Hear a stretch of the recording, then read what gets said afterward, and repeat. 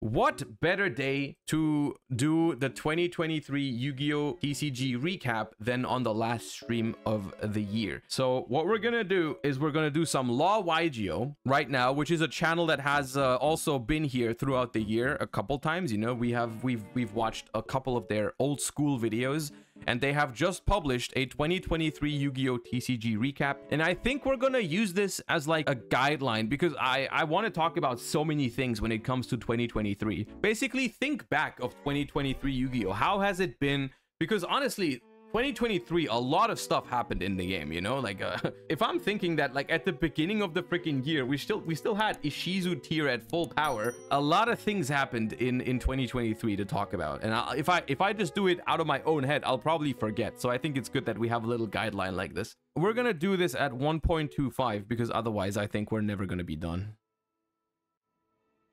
And you guys have to let I'm gonna me say know. it right now. 2023 was a How the weird year for the is. history of Yu-Gi-Oh! in retrospect. While a lot did change over the course of the year, it also felt like very little change for long stretches until the Oh, entire also, I forget. I need to. I need to pin the video. Uh, once again, shout outs to the Law YGO, who's been making these videos for every year.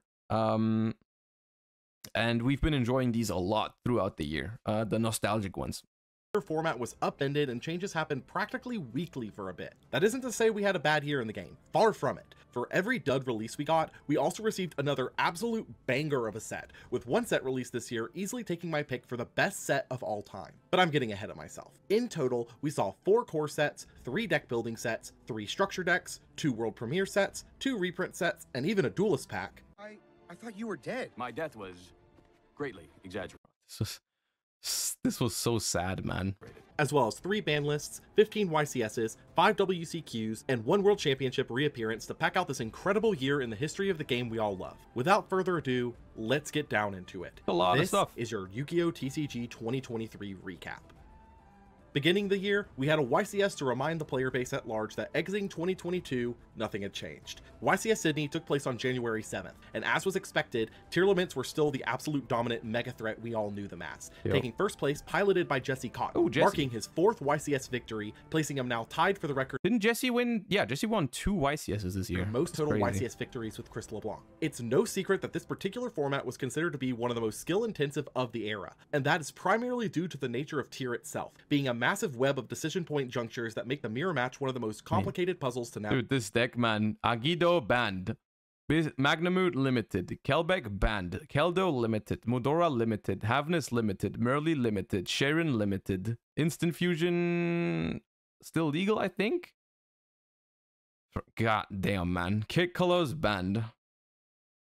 Holy sp- elf banned. Naturally, meaning that the more skilled players in the community that regularly perform well would bubble up to the top of play here. Looking beyond Tear for a moment, there were a couple of other faces in the top cut I will say, and I'll say it again.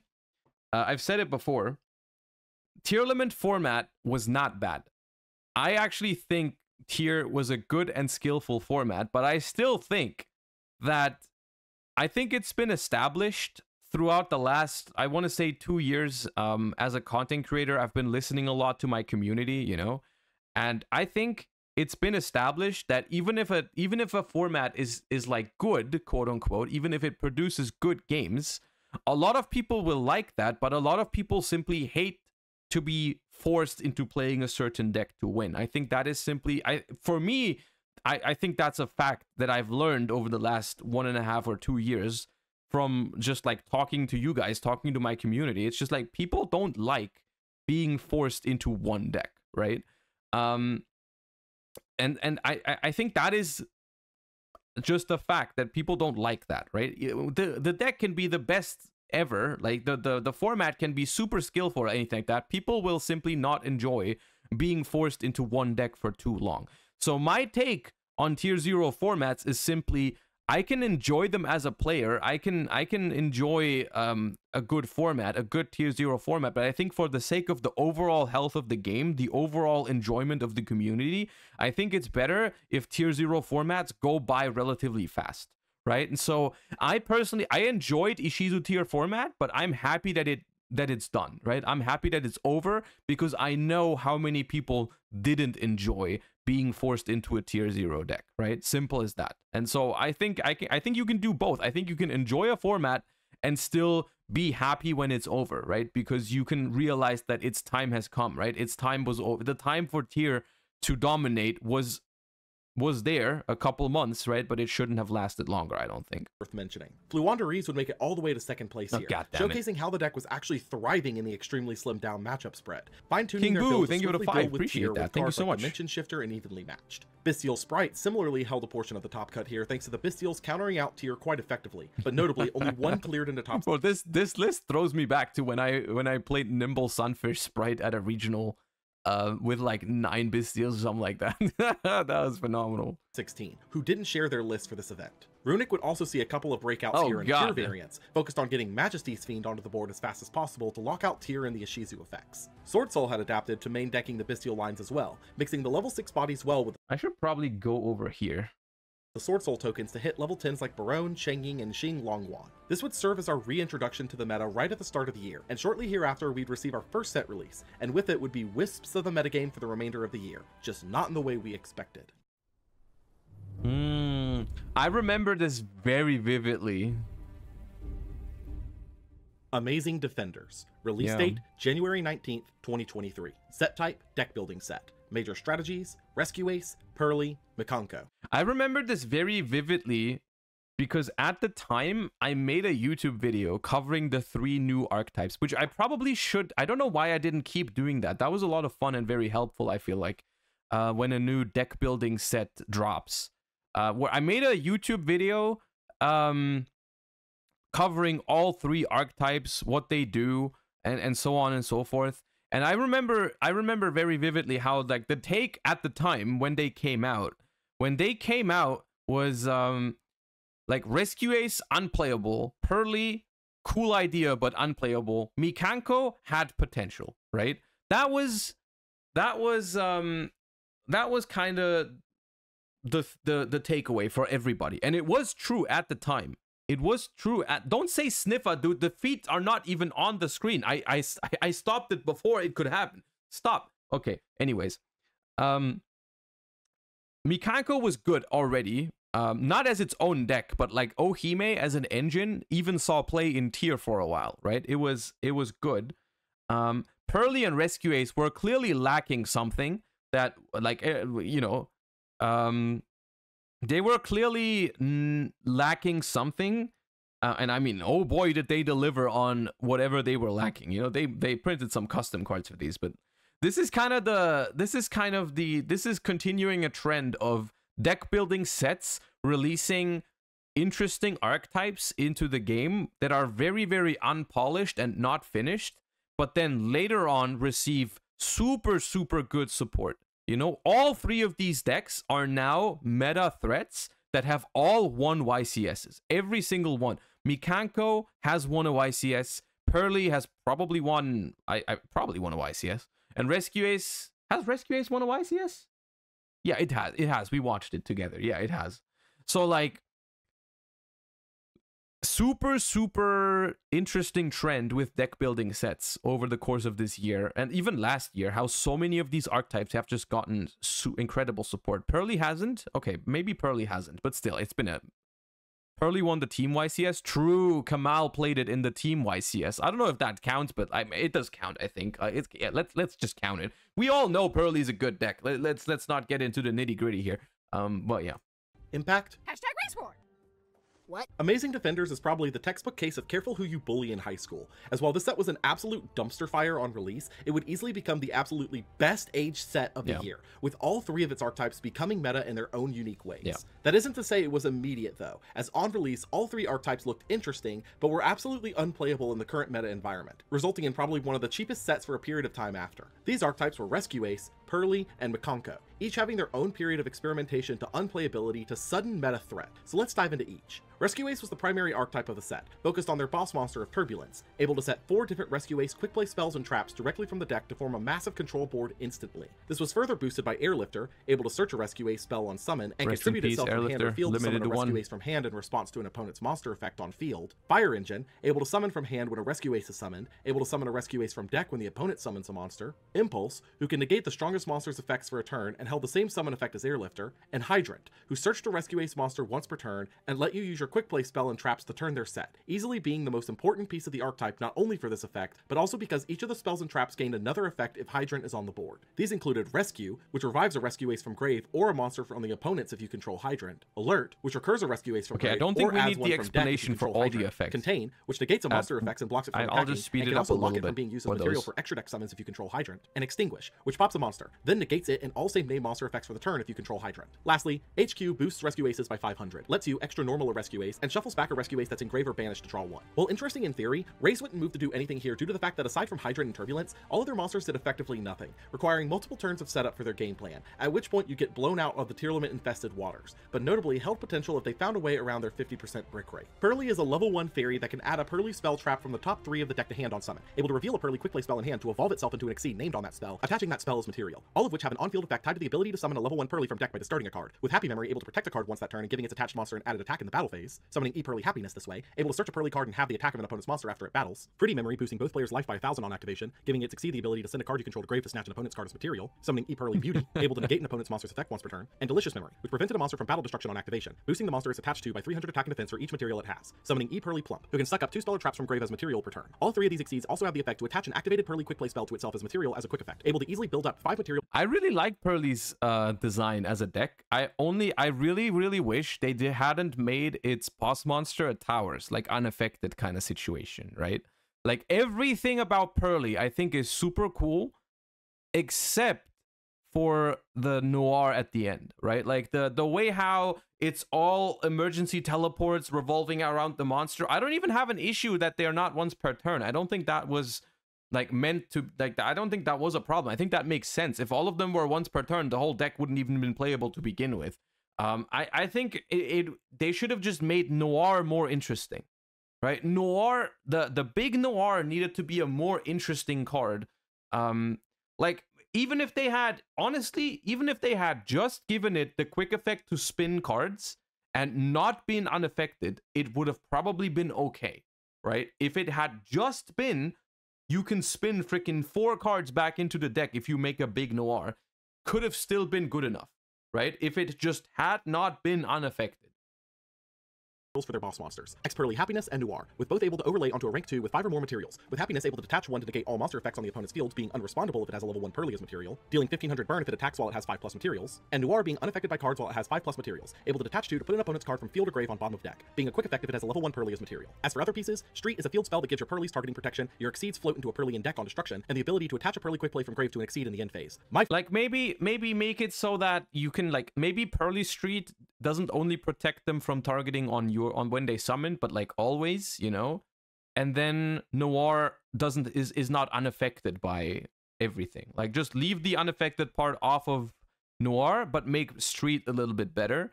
And then um and then you can't like you can't simply imperm the Noir, but it's not unaffected. You know what I mean? Like something like a droplet will still out it, or like a talent will still out it, something like that. I think that would have been better. At least targeting protection, your Exceeds float into a Purrely in deck Or just the untargetable. I mean, yeah, maybe quick play from that. an Maybe just make the. Noir untargetable. I- I don't know, man. By paying 500 life points, gives your opponent 3 options The to put cards in unaffected have randomly add 1 to hand. And when a Purrely Exceed is destroyed, adds 3 Purrely Everything else in Purrely is super cool, I think. quick plays from grave to hand, and Eep, a trap that's a quick exceed rank up for two turns, and can banish itself from grave to shuffle three Purrely monsters in grave back into deck. While the concept was there for Purrely, it was clearly lacking a lot in terms of consistency, as while you wanted to make Noir as fast as possible, that usually required access to Plump and a really well-positioned opening, which with all of their search options being inconsistent, left Purrely in the hypothetical camp for now. Was the latest crack at making a ritual archetype playable yet again, with Hare either blocking or reflecting damage based on if an equip is on her, searching a Mikanko equip when a spell is equipped to her, Nini having the same damage effect and able to quick effect steal an opponent's monster if equipped, Fire Dance summoning a Mikanko from hand and reviving an opponent's monster to their field, protecting its equipped monster from effect destruction, Purification blocking effect destruction and being able to bounce both a Mikanko and an opponent's monster in response. I mean, even though even though Mikanko was quote unquote the best at release, it was only the best because it was splashable in other decks, right? No one cared about these cards at release, and some of these don't even see play to the, to this day because they we still don't we don't really play Mikanko as the way it was intended, right? We still play Mikanko more as like an engine in different decks. It's a larger engine now after they released the green one, but it still is not something that we play as like a blind second OTK deck. I mean, some people do, but like in the in a meta context, people don't really do that, right? Um, and at release, it was the same. Like we are saying, I, I said Mikanko is the strongest one, but not as its own deck. It was it was good because Ohime was like a really splashable level six extender, uh, kind of thing, right? Oh, good morning, Water Willow prevents Waiju. destruction, What's enable up? the How you capacity of a doing? monster to summon another I, I remember reading Arabesque for the first time and thinking like, God damn, that card hits hard. That card is so good. Arabesque to this day, I think, is my favorite Mikanko card because freaking the fact that you can just go second and bounce a monster and summon from the deck is like that card. That card's wild, man.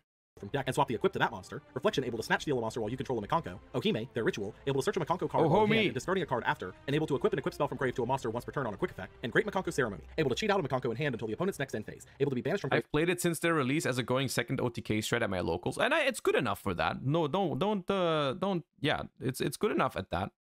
To dump a Mikanko card from deck. But, like, I don't think it's good enough the as- group, as that kind of deck for, like, a meta. Ohime alone represented a full combo that resulted in a quick Big effect snatch steal on the opponent's turn thanks to searching Ceremony and Ceremony being able to dump Reflection to set up Ohime's effect. Seeing some experimentation in other strategies already using ritual monsters like Libromancer and Souls builds. Reprints here were extremely light, bringing Renowned, Isolde, and Durandal, but not much outside of those. On the whole, Defenders came out with a thud, leaving the primary meta shakeup for the set following three weeks Yeah, later. when it released, Amazing Defenders wasn't that good of a set. Like the the archetypes weren't worth much because they weren't good yet, and the reprints weren't amazing. I don't think so. Like it was kind of like a, a stinker of a set when it came out. I mean, looking back now, the cards are were pretty expensive over the course of the year. So if you picked them up early, you made a pretty good deal.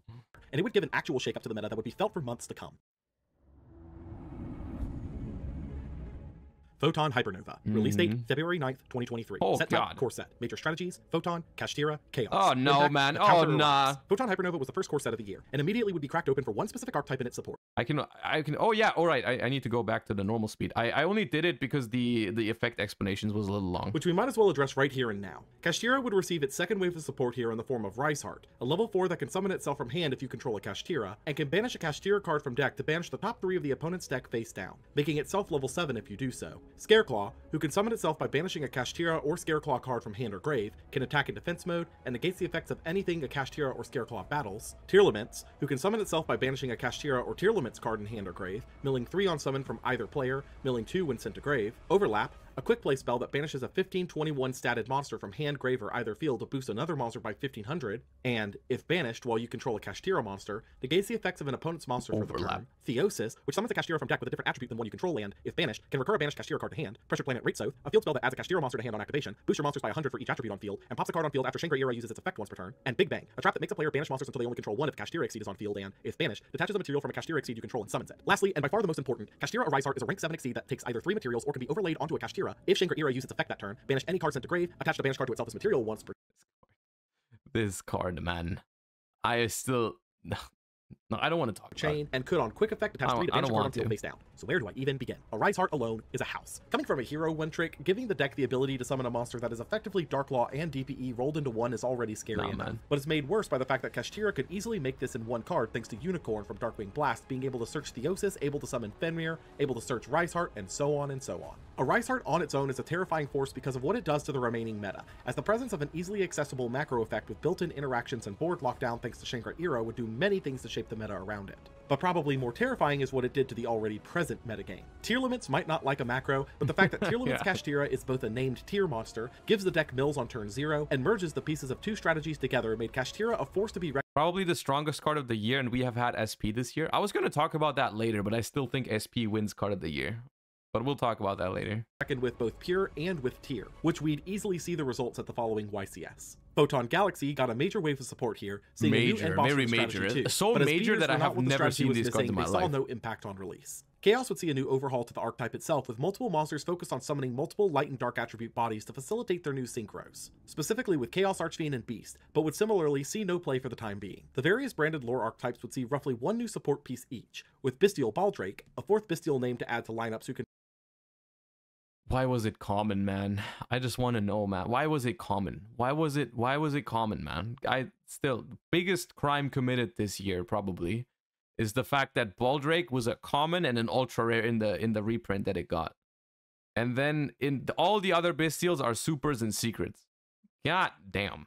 Contribute another light and dark when an extra deck monster is summoned to banish it, Dogmatika getting Albazoa, a ritual boss that is immune to extra deck monster effects and can make the opponent send, on turn 1, 7 cards from hand or extra deck to the grave, and Dogmatika Matrix, a continuous spell that searches a Dogmatika ritual monster or spell on activation, These cards are and cool. another Dogmatika card if your opponent controls a monster and rips a card from the opponent's extra deck if you control a ritual Dogmatika once per turn, General Fusion support in Granguignol, the Dust Dragon, a fusion of Cartesia and a lighter dark that dumps a level 6 or higher lighter dark from deck or extra deck to grave on summon, and can, if the opponent special summons a monster by monster effect, banish itself from field or grave to summon a Dogmatika from deck or a Despia Bro, from There's a mini Albaz on Grant. I've never noticed that.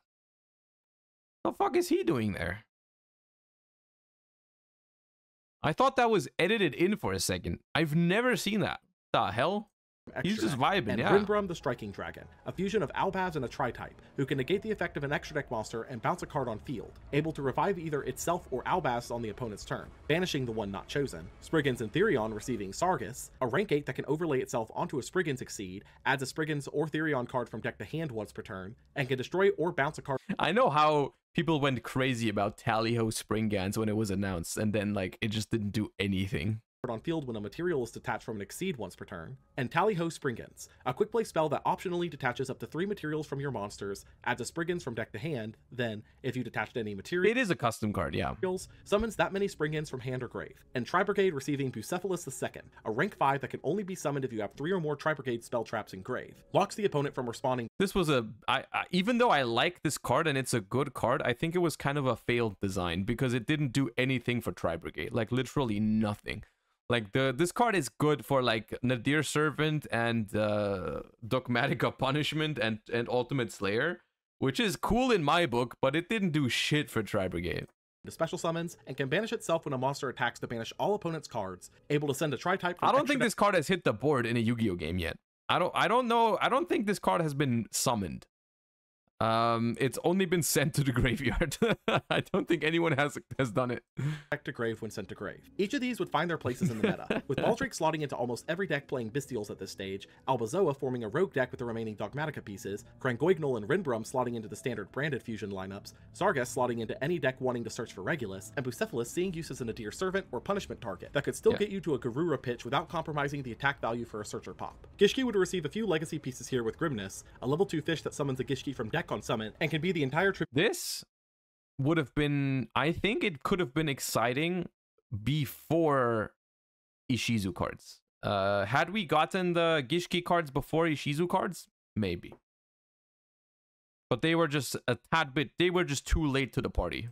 For a Gishki ritual summon. Neromanus, a level 10 ritual that They can are- summon a water are from grave on ritual summon, has battle protection from extra deck summoned monsters, and can bounce a Gishki ritual monster to hand to negate a monster effect and shuffle The it elf into the ban deck. too. I mean, yeah, the elf ban too. But I mean, the elf is also the elf is legal in Master Duel, and they still don't do anything there. But like, uh, I, even with elf, this deck could not have competed with uh like Ishizu Tear in the in the slightest. A ritual spell that summons a Gishki by tributing the exact levels or one monster the opponent controls regardless of level, losing life points equal to the attack of the summoned monster, able to cycle itself back into deck by placing a Gishki ritual monster from grave on top of deck, and Focused Aquamirror, which searches a Gishki monster and in the end phase could banish itself from grave if you control a water ritual to set an Aquamirror from deck except itself. Gishki's support would be a solid line thanks to Abyss being a search for whatever you need to complete the line, but more specifically would become a rogue level splash for sprite decks in the meta thanks to Grimness and Abyss both being level 2, meaning you can set yourself up into Neromanus before committing your gigantic line, seeing some experimentation. Gold Pride would be the new TCG exclusive archetype, with all pieces able to summon themselves if your life points are lower than your opponent. Is Gold Pride, as weird as it sounds, is Gold Pride the best TCG only archetype this year? Um, yeah, right. Like, uh, free. I mean, it's not freaking Tistina.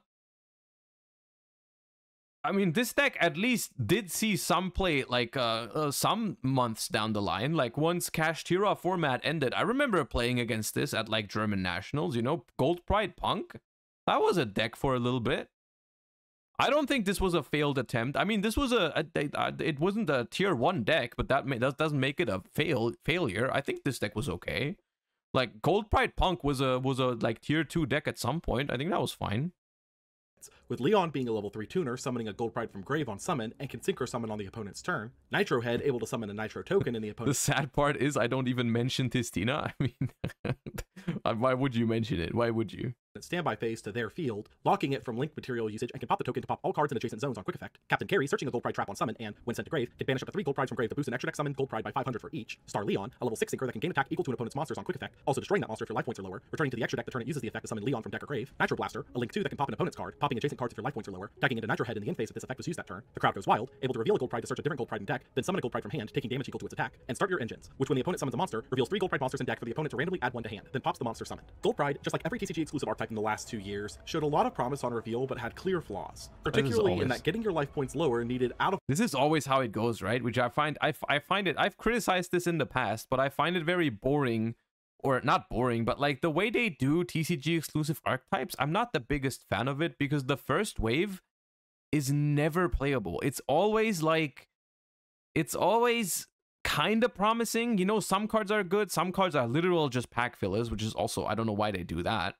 Uh, but it's always like it feels like a gamble, right? Because you ha- you see the first half of the thing and it looks somewhat promising, maybe, except for Tistina, that didn't really look promising. But like, like Libromancer. When I look back of this stuff, I always think of Libromancer, where I was like, okay, some of these cards are really, really, really good, but it it it just it depends so much on the second wave of support that it feels so arbitrary, right? It feels so arbitrary. Uh, you just have to guess, you know, is this stuff going to be good or not? Archetype pieces to be consistent, as And then most of the time it's accomplished it not. was Wild, which itself was not consistent. While it needed a second wave to potentially be meta, it would for the time being see experimentation with Punk as the strategy paid life points a ton to use their own effects, enabling the gold prides. Other one-offs from the set worth mentioning included Gravekeeper's Inscription, a spell Mm-hmm. that could, at the start of main phase 1, lock either card effects, banishing, or summoning from grave until the end of the opponent's next turn, being clearly designated as a counter for Tear. Plunder Patrol Ship Yord, the fabled Earth ship that can search a Plunder Patrol card when This one was based. The opponent summons a monster, able to summon a Plunder Patrol from deck if equipped with one, and can move itself into the Pendulum Scale by recurring a Plunder Patrol from grave to hand. Able to, in the scale, declare an attribute, send itself back to extra deck, and summon a token of that attribute to both fields and defense mode, which not only plugged a major hole in Plunder's extra deck, but also enabled you to access other attributes through the token summon. Big Welcome Labyrinth, which summons a Labyrinth from hand, deck, or grave, bouncing a monster you control to hand, which does trigger the removal by trap condition on most Labyrinth bosses, and can be banished from grave to bounce a fiend you control to hand, or, if you control a level 8 or higher fiend, an opponent's card instead, giving Labyrinth a major play starter, Diabolantis, the Menacing Mantis, a TCG exclusive that can send insects or plants to grave up to the non-tuners used for its summon,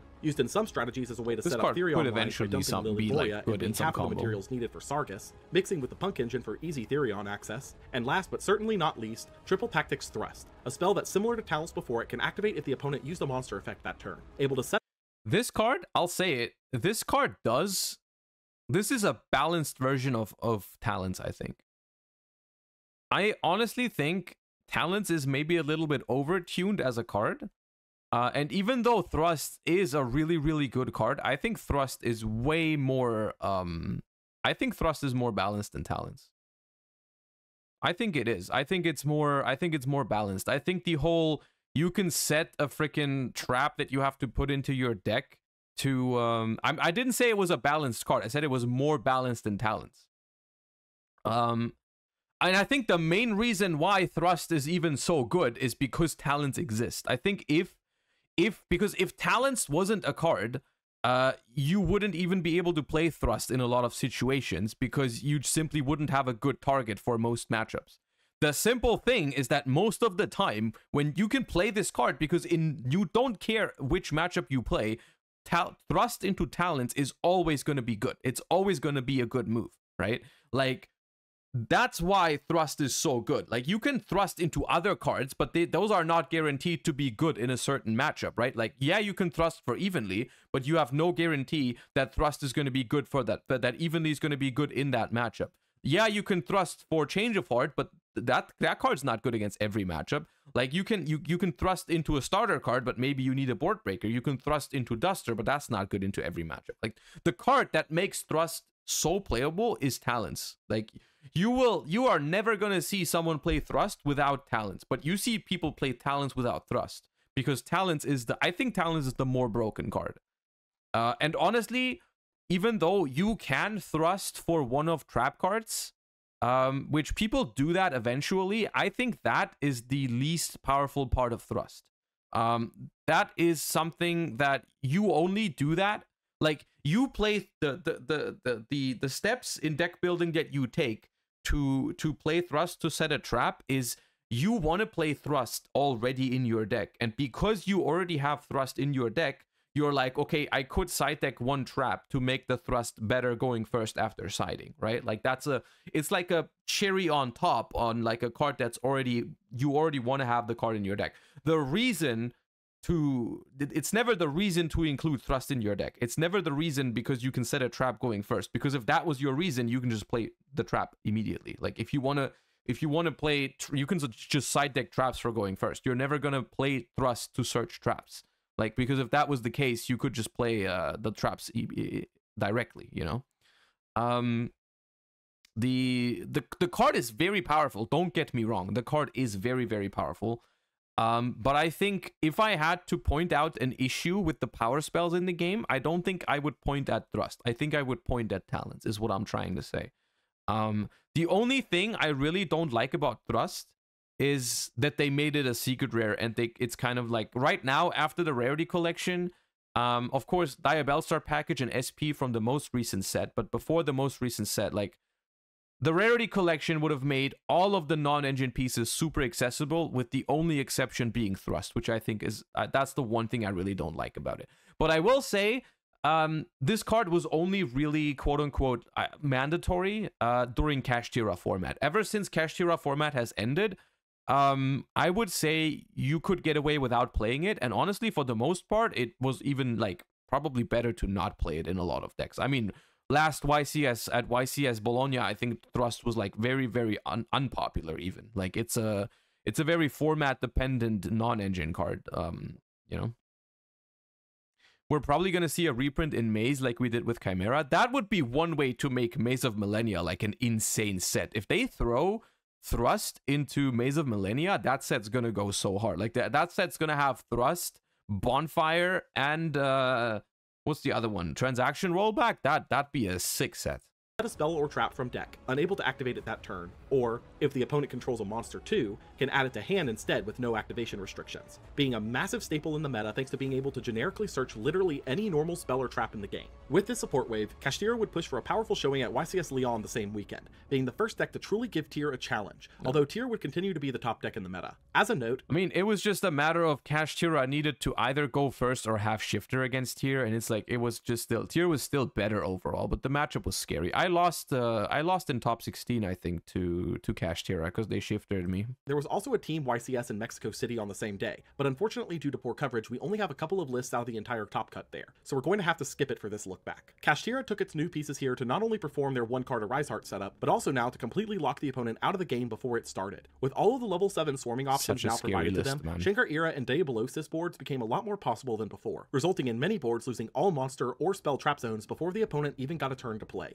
which while not common was entirely possible for the deck to achieve now. Subterra would have an odd top cut appearance here, utilizing the nature of floodgates and stun to try and counter out Tear that way, with Dimension Shifter already proving to be a valid counter option for the strategy. Jesse Kotton wouldn't hold the tie for most YCS victories for long though, as Chris LeBlanc would win the event on Tearlaments, taking back the title with his fifth YCS win, pushing that bar up just a little higher. Although this event was a clear showing of Tear being the best deck still, even with the new release, it would be disingenuous to say that the showing here was 100% uncompromised. As though it had been announced earlier in the week of Hypernova's release, a new ban list took effect on February 13th, directly following YCS Lyon, and with it came the culling wave to the tier 0 meta threat. Newly banned were Artifact Scythe, firmly Right, I remember this. This oh, now I remember YCS Lyon was like so frustrating because I think the ban list was already out, wasn't it? I think uh, I think it was so frustrating because the ban list was already out and it was like the last tournament. I always hate when that happens. I always hate when that happens when uh, when like a ban list is already out, but you have to play a super big tournament with like the old ban list. That always feels like so so much of like a non-important event. I hate when that happens. Ending the Sanctum lockout. Yeah, yeah, yeah, yeah, I Statue of the remember. Storm wins, removing Oh, Flu's God, lockout statue. line, technically Cash but no one was playing it yet. Sprite Elf, one of the most egregious combo enablers ever printed, and Tearlament's Kitkallos, the best Yeah, card in the th- tier this deck one by was massive, dude. a country mile. Newly limited were Agido, Kelbek, Keldo, Mudora, Havnis, Merrli, and Scheiren. All hits to Tearlaments. Yo, placing I forgot they did all of that at once, man. Holy shit, man. God damn. All but one of their 2022 monster lineup on the limited list. In addition to Ancient Fairy Dragon being released from the list with a caveat of not taking effect until a future set release due to an errata coming down the pipeline. Lastly, unlimited were Destrudo, Jet Synchron, O-Lion, Servant of Endymion, Lithosagem, Yada, and Spiral Resort, being a large cleanup wave to cards that no longer were issues with either the passage of time or Looking back, phenomenal ban list because none of the unlimited. You always know is you know it's a good decision to unlimit something if it just doesn't cause a problem for a very very long time. Because I probably said, I mean, I probably said at the time like resort is scary or anything like that. I mean, master plan is still banned, so it's probably whatever.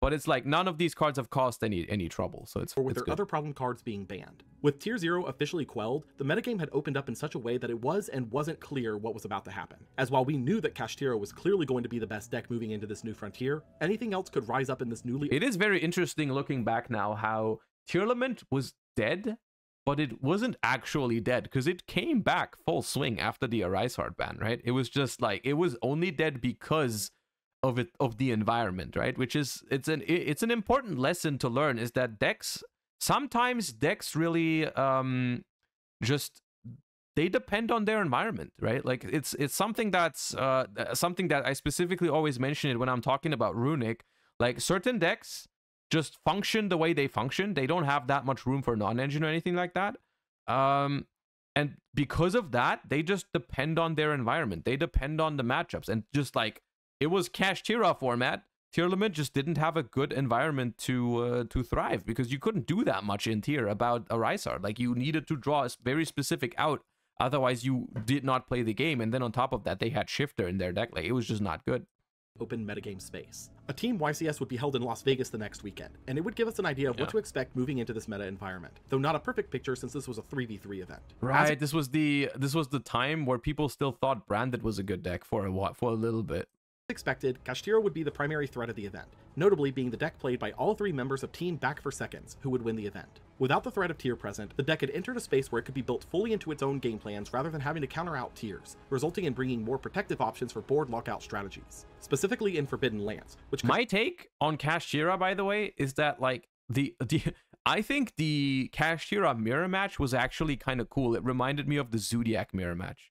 Um and I think honestly, looking back, Kashtira was like it was the best deck in the format.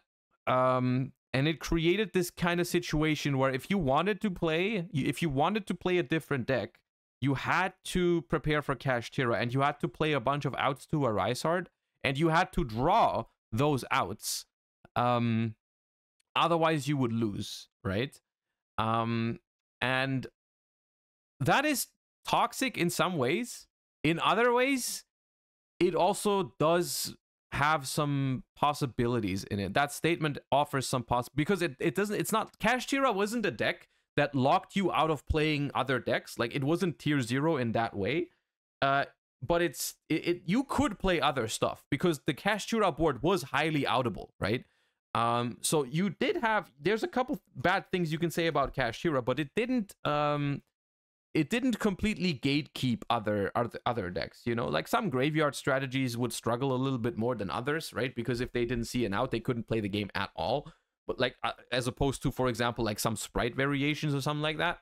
But like um it's yeah it's kind of it's kind of interesting because on one hand i really hated Kashtira on another hand it was like it was beatable right? Like all i i got all the way through Kashtira format without playing Kashtira at a major event a single time. And I did top a, a decent number of events, you know, like uh, YCS London, German Nationals. I guess there's another ban list that removes Mind Hacker from it, but like I got through this format without ever feeling forced to play Kashtira. So I guess it was somewhat okay in that regard, even though I still didn't like the deck. counter out the primary counters to Shangri-Ira of Book of Moon and Eclipse. Branded would see a bit of a resurgence here, taking up the second largest Heck, percentage W. of the top cut, primarily due to the fusion space being a lot more open now than before, thanks to tier being missing, but also because a new tech had been discovered for the deck, that being Gimmick Puppet Nightmare. Branded Expulsion from Power of the Elements had found a target worth putting on the opponent's board, and with it, players could lock special summoning from the opponent for an entire turn, which would cause the trap to become staple in the strategy for a long period after, being without question one of the best things you could be doing in Branded, much to the dismay of Branded fans. Labyrinth would also see a resurgence here, primarily thanks to Big Welcome Labyrinth giving the deck a No. powerful new start option. Primarily thanks to Ryan Yu. Notably, also playing the new Bucephalus II for use with Dogmatika Punishment so you could still access Garura draws without sacrificing your attack power for the pop. Sprite would see some of the more interesting adjustments here following the ban of their primary enabler, with some opting for a live Twin Splash and others fully switching gears into Kashtira Sprite, and even a pivot back into the Runick path for the deck. This Hell would set yeah. the stage for this new meta landscape, being followed up by a structure deck released the following week, which would introduce yet another strategy into the pool worth experimenting with. Ooh, Traptrix. Oh, th- this was a this was a good moment because it gave the Beware the, of trap the tricks. budget option. Release you date know? February 23rd, 2023. Set type structure deck. Major strategy. I still remember how hyped people were when Pack did that, you know, like uh, go undefeated at locals with just three structure decks or anything like that. You know, that was kind of cool. Even though looking back, I mean, now the deck is, I want to say, kind of irrelevant, but still having a, I mean, it's like tier three. And like, I mean, I guess that's still good for a budget deck. You know, you get like 30 bucks for like a little bit of non engine for, for like a tier three deck. That's okay.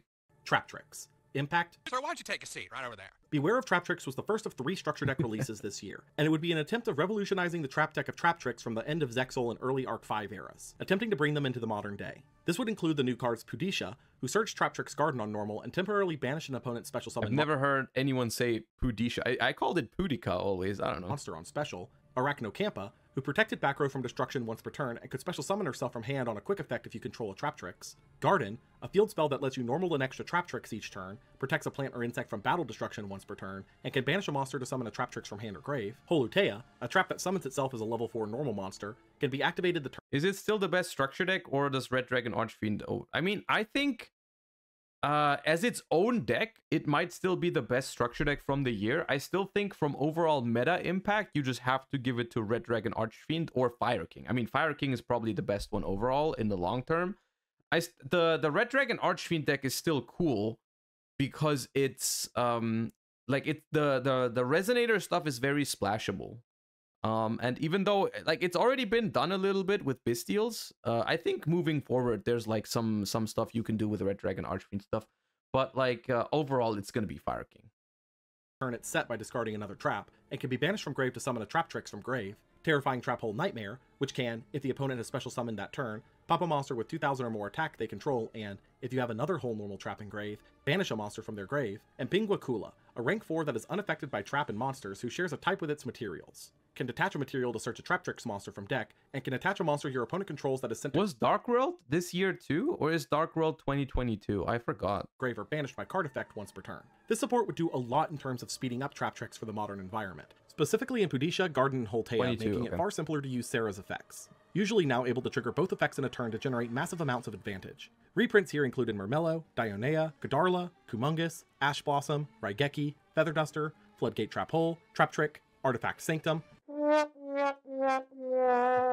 Naturia Sacred Tree, Evenly Matched, Rafflesia, Allomerus, and Sera. While this would introduce Traptrix as a viable strategy in the meta, it would be poorly positioned overall, as Trap decks were already being sided against in major ways due to Labyrinth already being a potent meta threat, leading to Traptrix' home resting in the range of a rogue deck. Shortly after this, we'd see the next big world premiere set for the TCG, and it would make its attempt to shake up what the Traptrix could not.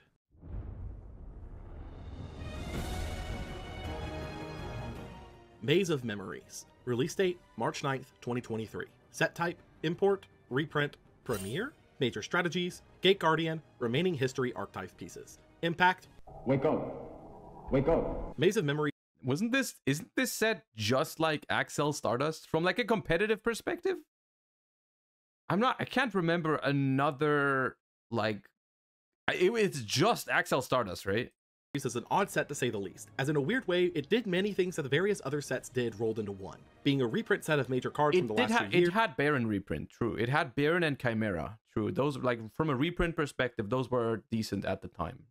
an OCG import set of all remaining history archetype collection cards we were still missing, and to top it all off, Duality came from the of a new set. No, Duality and Assault Synchronized Battles of Legends. That's not Maze of Memories. TCG exclusive series of cards retraining various cards related to Gate Guardian. So let's start there. Gate Guardian would receive a series of contact fusion Uh, I I'll, I'll two times the Gate Guardians. Okay. monsters, able to banish the original three Gate Guardian materials from hand, field, or grave to summon. With Thunder and Wind, a fusion of Sanga and Kazejin, able to add a spell or trap that mentions the trio from deck to hand, floating into a banished Sanga or Kazejin on removal. Wind and Water, a fusion of Kazejin and Suijin, able to negate a spell or trap twice per turn, floating into a banished Kazejin or Suijin on removal. Water and Thunder, a fusion of Suijin and Sanga, able to drop an opponent's attack to zero twice per turn, floating into a banished Suijin or Sanga on removal. and combined, a fusion of Sanga, Kazejin, and Suijin, able to negate and destroy a card that targets your cards thrice per turn, able to float into any of the other fusions or original Gate Guardian on removal. In addition to these, they also received retrains of various cards used by Para and Dox in the anime, like Labyrinth Heavy Tank, able to be normal without tributing, able to place a Gate Guardian piece from hand or deck into the spell and trap zone once per turn, popping a card on field if you control a Labyrinth Wall card when you do, Shadow Ghoul of the Labyrinth, able to be discarded I will say these the card the cards sounded kind of cool. Like if you're uh if you're into playing these kind of anime decks, they did they did sound kind of cool because they're like they they weren't complete ass, you know. They were like they weren't good competitively, but they were like they sounded like a cohesive deck at least. to add a Labyrinth Wall card from deck to hand, able to pop a battling opponent's monster by banishing itself from grave while you control a Labyrinth Wall card. Labyrinth Wall Shadow, a field spell that gives non-high level monsters summoning sickness, can place a Gate Guardian piece from deck into the spell trap zone once per turn, and can pop a low attack monster at the start of the opponent's battle phase. Double attack Wind and Thunder, able to pop a card if you control a Gate Guardian monster, and can banish itself from grave to shuffle back a Gate Guardian piece. Ryoroku Guardian, able to have the opponent's life points to boost a Gate Guardian monster by that much with the same grave effect as double attack, and Prey of the Jirai Gumo, able to be summoned as a monster and pop a monster in the same column with the same grave effect. While an interesting thought experiment, the Gate Guardian cards would do absolutely nothing, with their biggest experimentation being Heavy Tank being teched into Kashtira solely as a level 7 normal summon body. As for the imports, Wake Up Your Elemental Hero revolutionized the hero strategy by both replacing Trinity in the extra deck for an did. attacking finisher, as well as being a turn 1 extender by being able to be popped with guess it did. DPE to access Shadow Mist, who in turn accesses your mask change on turn 1. That's right, it's an OTK enabler that also gets you to Dark Law. Needless to say, this along with another card released later in the year would actually do a lot to make Hero far more playable, though still a rogue option for the regional level at the time. Accel Synchro Stardust Dragon, or Ass Dragon mean- for short, revives a level 2 or Don't don't say Ass Dragon for short. That card, this card's just been incredible. This card is incredibly good. Um, yeah, I, this this card is just phenomenal. There's not much to say about it. lower tuner on Synchro Summon and can, on a quick effect, tribute itself to summon Stardust Dragon from the extra deck, then Synchro Summon using monsters you control, becoming a solid option for various Synchro strategies, namely for being a level 8 that instantly gets you to a level 10 on its own, making Baronne that much easier to access. Firewall Dragon Dark Fluid Neo Tempest Terahertz is a Link 5 that negates the effects used by an opponent in the battle phase. Can send a Cyberse from deck or extra deck to grave I hate him, dude. Not even because it's a good card. It's because this card has changed Twitch chat for good, man. Twitch chat has lost their minds after this card came out.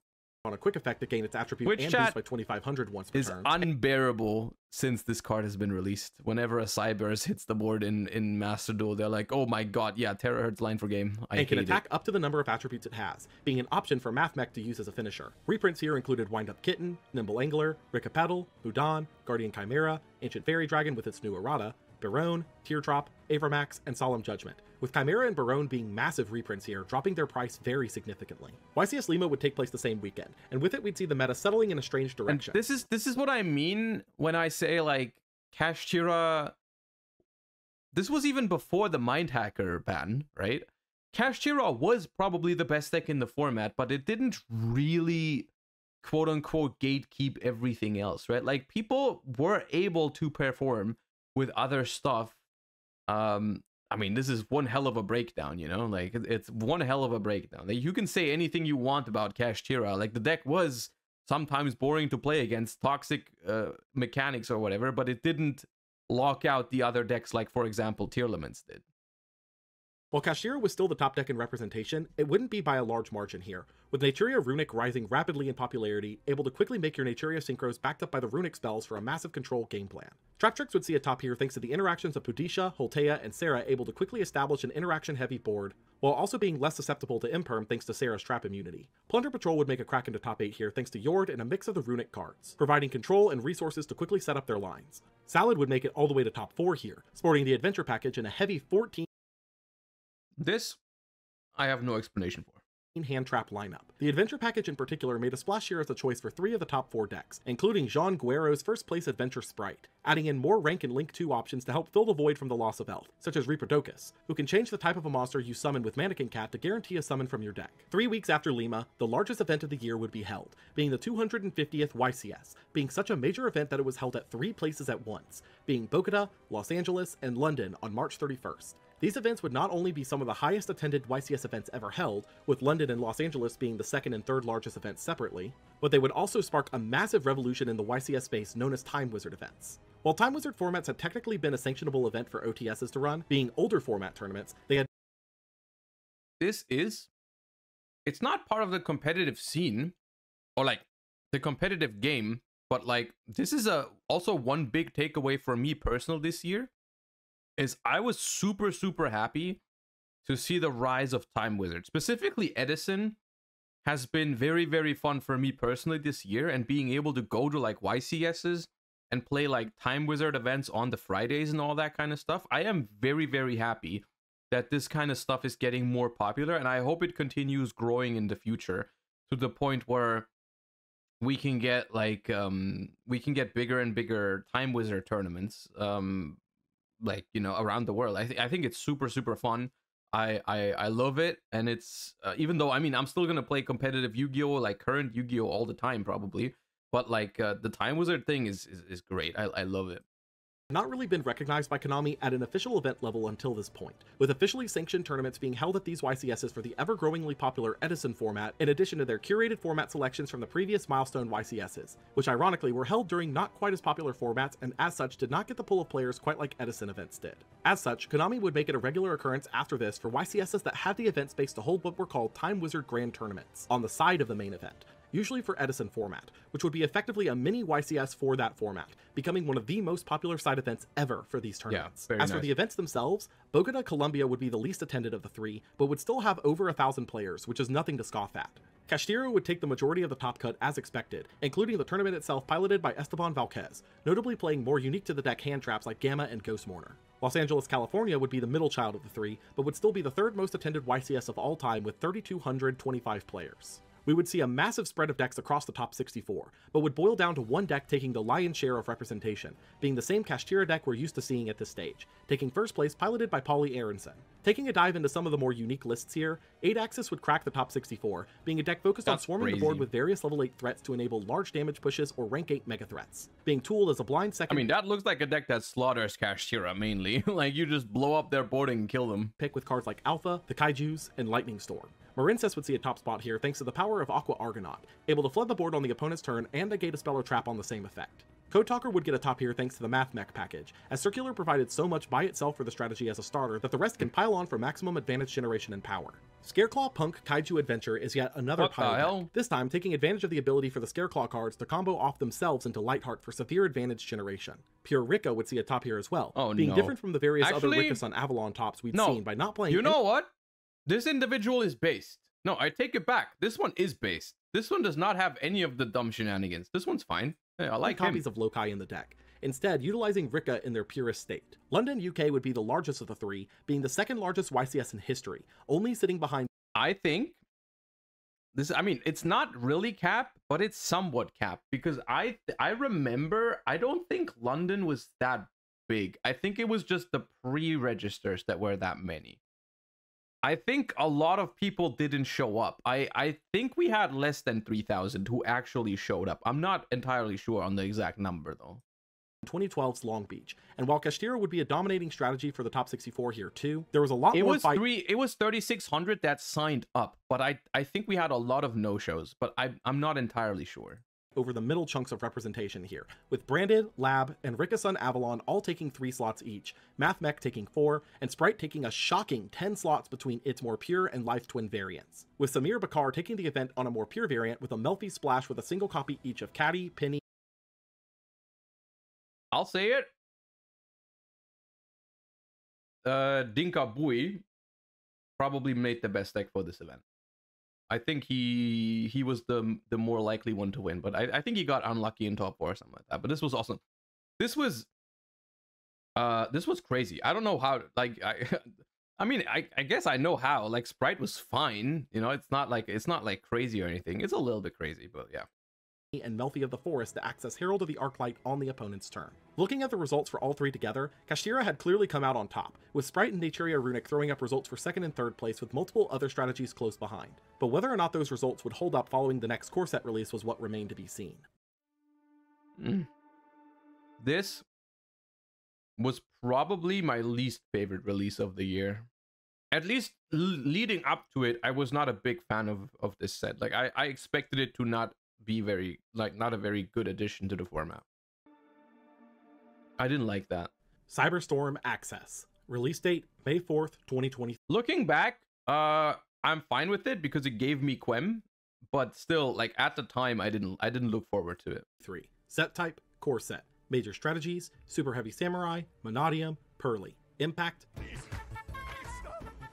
Cyberstorm Access was a hotly anticipated release as it contained primarily support for previous archetypes that would change their status in the metagame, not only for their own decks, but as an engine to use in practically everything. That engine would be the Super Heavy Samurai engine, which was primarily made possible thanks to Prodigy Wakaushi, a pendulum that can, if you have no spells or traps in grave while in scale, set another Super Heavy Samurai scale from deck to summon itself. 99 times out of 100, you're going to use this to set Monk Big Benkei, who can, while you control a Super Heavy Samurai, add a Super Heavy Samurai Soul from deck to hand, which in turn can let you go practically anywhere you want to go, be it a level 8 Synchro through a combination of Soul Gaia I mean, if we're gonna go down and explain all the things you can do with Wakaushi, we're still gonna be here in two hours. A booster and Wakaushi, which when you weave in a motorbike with it can get you to Baronne via Ash Dragon, a rank 4 exceed through the same method, and all sorts of link climbing shenanigans thanks to their previous Imagine like you you scroll, you you skip like an hour ahead, and it's like, and that's how you FTK using Wakaushi. Link monster Scarecrow, which can discard a card to revive a Super Heavy Samurai to its Link era. Not only was this super splashable, but it also had an FTK attached to it for the pure variant that could very simply end the game straight away but die to a single hand trap. But even still, the deck in its pure variant could get away with a metric ton of non-engine thanks to its starters being so powerful. Mannadium was the fourth of the Visas lore archetypes, primarily being a series of level 2 tuner monsters that summon themselves from hand if you control Visas, or a 1521 statted monster, floating into more copies of themselves on destruction with an added effect, with Fearless boosting your synchros by 500 in battle that turn, and Meek boosting the newly summoned Meek by 2 levels. Their Visas variant was Riumheart, who could pop a Mannadium or 1521 monster to summon itself from hand, adding a Mannadium card from deck to hand on summon, being used with the tuners to make Prime Heart, notably not requiring a non-tuner. Can attack each turn up to the number of tuners used to summon him, is untargetable if made with a Mannadium tuner, and if it leaves God, I'm just remembering the the freaking copy pasta. Cause this, I'm now remembering. I'm oh God. This was the time when right after the set released, right?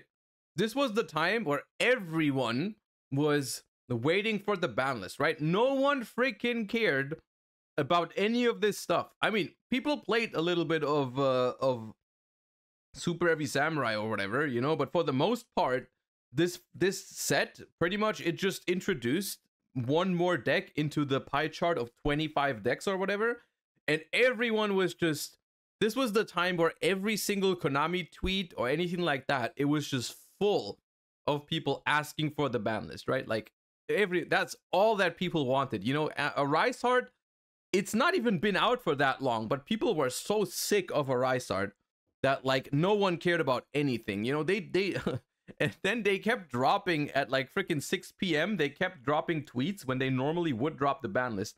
They kept dropping weird ass tweets like freaking Mannadium Prime Heart has a special defensive ability that stops your opponent from targeting it with card effects. Yada yada yada. It was it was actually top level comedy. It was actually insane. Um, but yeah, I I.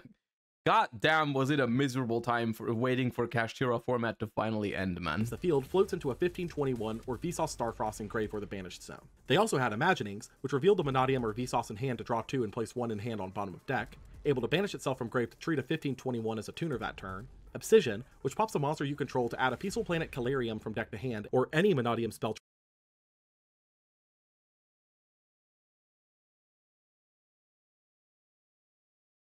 Yeah. trap if you already control planet, able to banish itself from grave to summon a Visas or a 1521 from hand, Peaceful Planet Calarium, a field spell that adds a Mannadium or Visas on activation, boosts light monsters by 100 for each tuner in grave, and special summons a tuner that is destroyed once per turn, and Reframing, an Omni Negate counter trap if you control a Synchro, only destroying if you have Visas or a 1521 in grave, and can be banished from grave to shuffle back up to 3 Mannadiums in grave. While an interesting direction for the Synchro line to take for Visas lore, Mannadium on release wouldn't be heavily played, still lacking the power level of Kashtira or Tearlaments before it, but it would be experimented with as it received more support.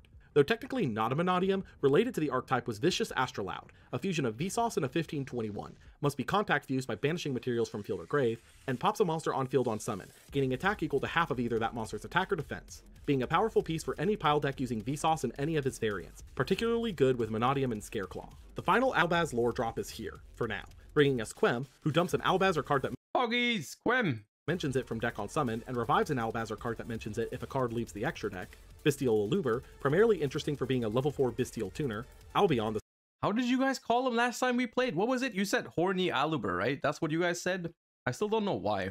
Sanctifier Dragon, a fusion of Albaz and a light spellcaster who can't be targeted, can on the opponent's turn summon two monsters from grave, one to each side of the field, and can revive itself by tributing a monster in each EMZ and the center column on each side of the field. It's got horns. Oh, because it has horns. I did. I didn't. I did not. I did not get that. Okay, now I get it. Okay, I see. I see.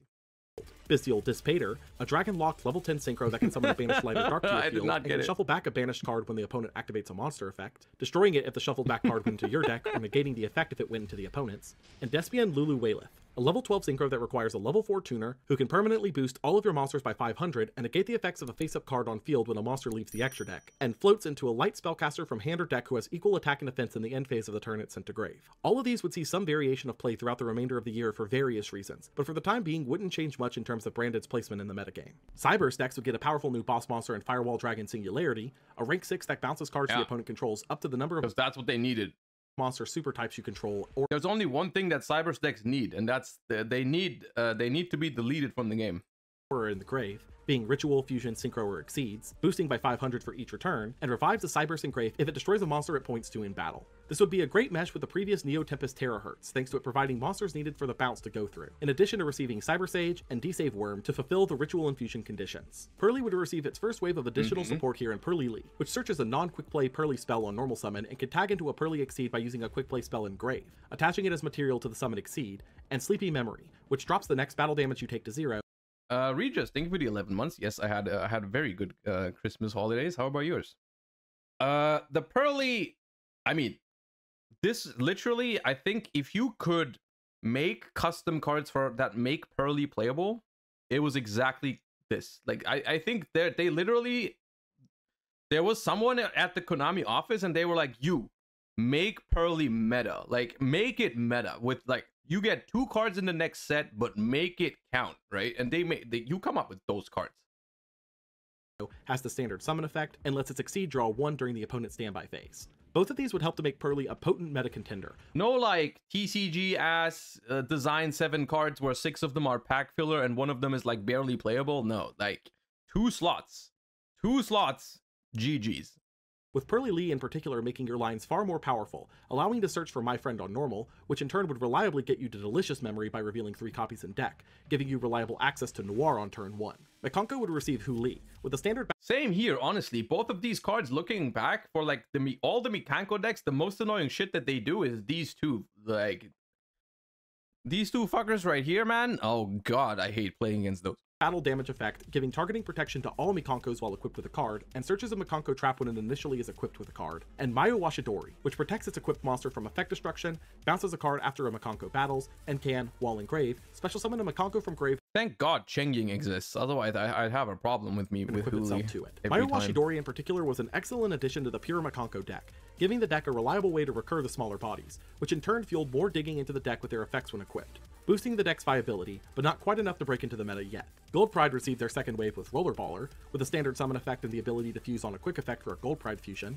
Pinballer, a fusion of Rollerballer and at least one other Gold Pride, able to equip opponent's cards to it on summon up to the materials used, the effect being unnegatable if your life points are lower, and tags into Rollerballer from grave if the effect is used, Chariot Carrie, a rank 3 Fuck it, exceed that can search a Gold Pride spell by detaching one, allowing you to dump a Gold Pride if your life points are lower, tagging into Captain Carrie and grave if this effect was used, that came out of nowhere, a quick play spell that specials a Gold Pride from hand or grave, Is this stuff in Master Duel yet? No, right? No, okay. letting the opponent do the same Because I was about to say triple Terror Top, you can make carry, but like that stuff is not here yet. any of their monsters, negating the effects of whatever the opponent summoned, and Better Luck Next Time, which searches a Gold Pride on activation, dealing damage to the user I will say, at the time, uh, when they announced Better Luck next time, I, I that's when I thought Gold Pride might have potential because that card is literally another one of those kind of custom card situations. Like literally, I remember, I remember when the first wave of Gold Pride came out, I was like, uh, they need a consistency card that also loses them life points to get them started, right? And this thing just does exactly this, right? Rhoda plus lose the life points is insane.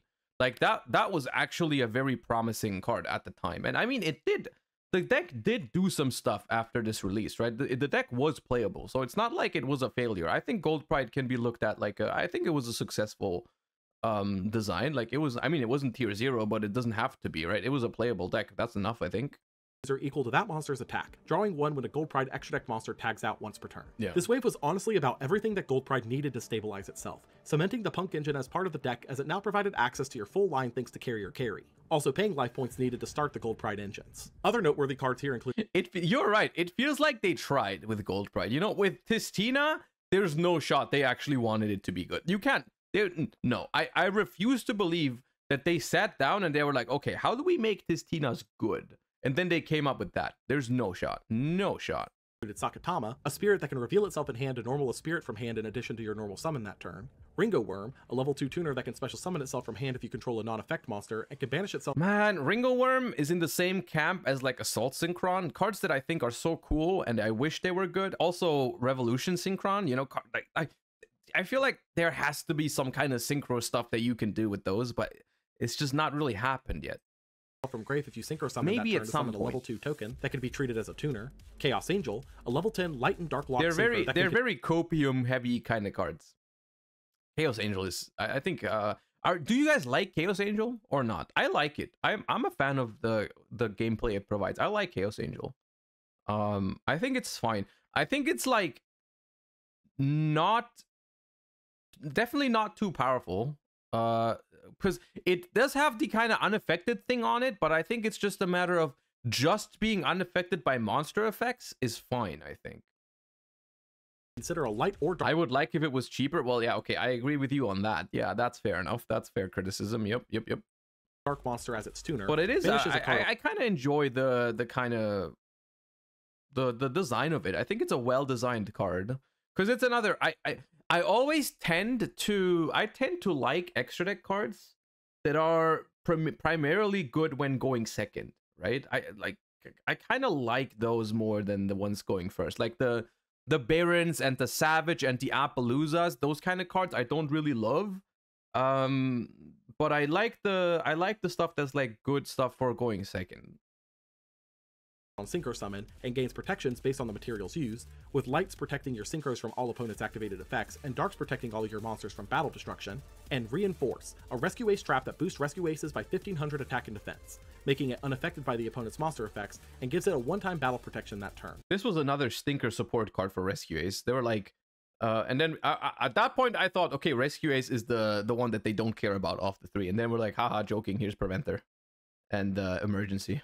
Able to be banished from grave to reset a rescue a spell from grave. Just YCS joking. Santiago would be the first testing grounds of this new release two weeks later, but unfortunately we have extremely poor coverage of the event overall with only 11 of the top 32 known to us. One of the big breakouts here was, as to be expected, Super Heavy Samurai, taking three of the known 11 slots, notably Oh, being able to play half their deck as non-engine hand traps due to the raw consistency of the core engine, which was made even easier to start thanks to Super Heavy Samurai Scarecrow, as you can normal summon Soul Piercer, link it off for Scarecrow, and search the combo line that way. Eddie Andre Alba would win the event on Kashtira. However, unfortunately, he never made his list public, with us only having a record of what he played thanks to Konami's coverage of the event. YCS Philadelphia would be a far more clear showing the following weekend, and with it, we'd see a clear picture of diversity in the meta, with 14 decks in the top 64. Super Heavy Samurai would perform well here, taking 12 top slots and clearing into the top 8, similarly chunking the deck up with various hand trap lines in addition to the Super Heavy Samurai core. Labyrinth would clear in the top 8 as well, claiming 6 of the top 64, but more notably, a shift had occurred in the deck's composition here, with almost all variants here swapping off of the 20 plus This is the rise of the furniture lab, right? This is the the time where like people started playing the furniture hand trap version of the deck. back row lineup to instead be more centralized around roughly 10 No. traps and a suite of the Furniture Labyrinth pieces, coining the deck as Furniture Lab. This variant would move from here to become the primary variant appearing in future events, being far less susceptible to the previous lab counters like heavy back row removal. Branded had added Quem to their monster lineups, but beyond that, nothing had really changed from Syak's release, with the deck only clearing into top 32.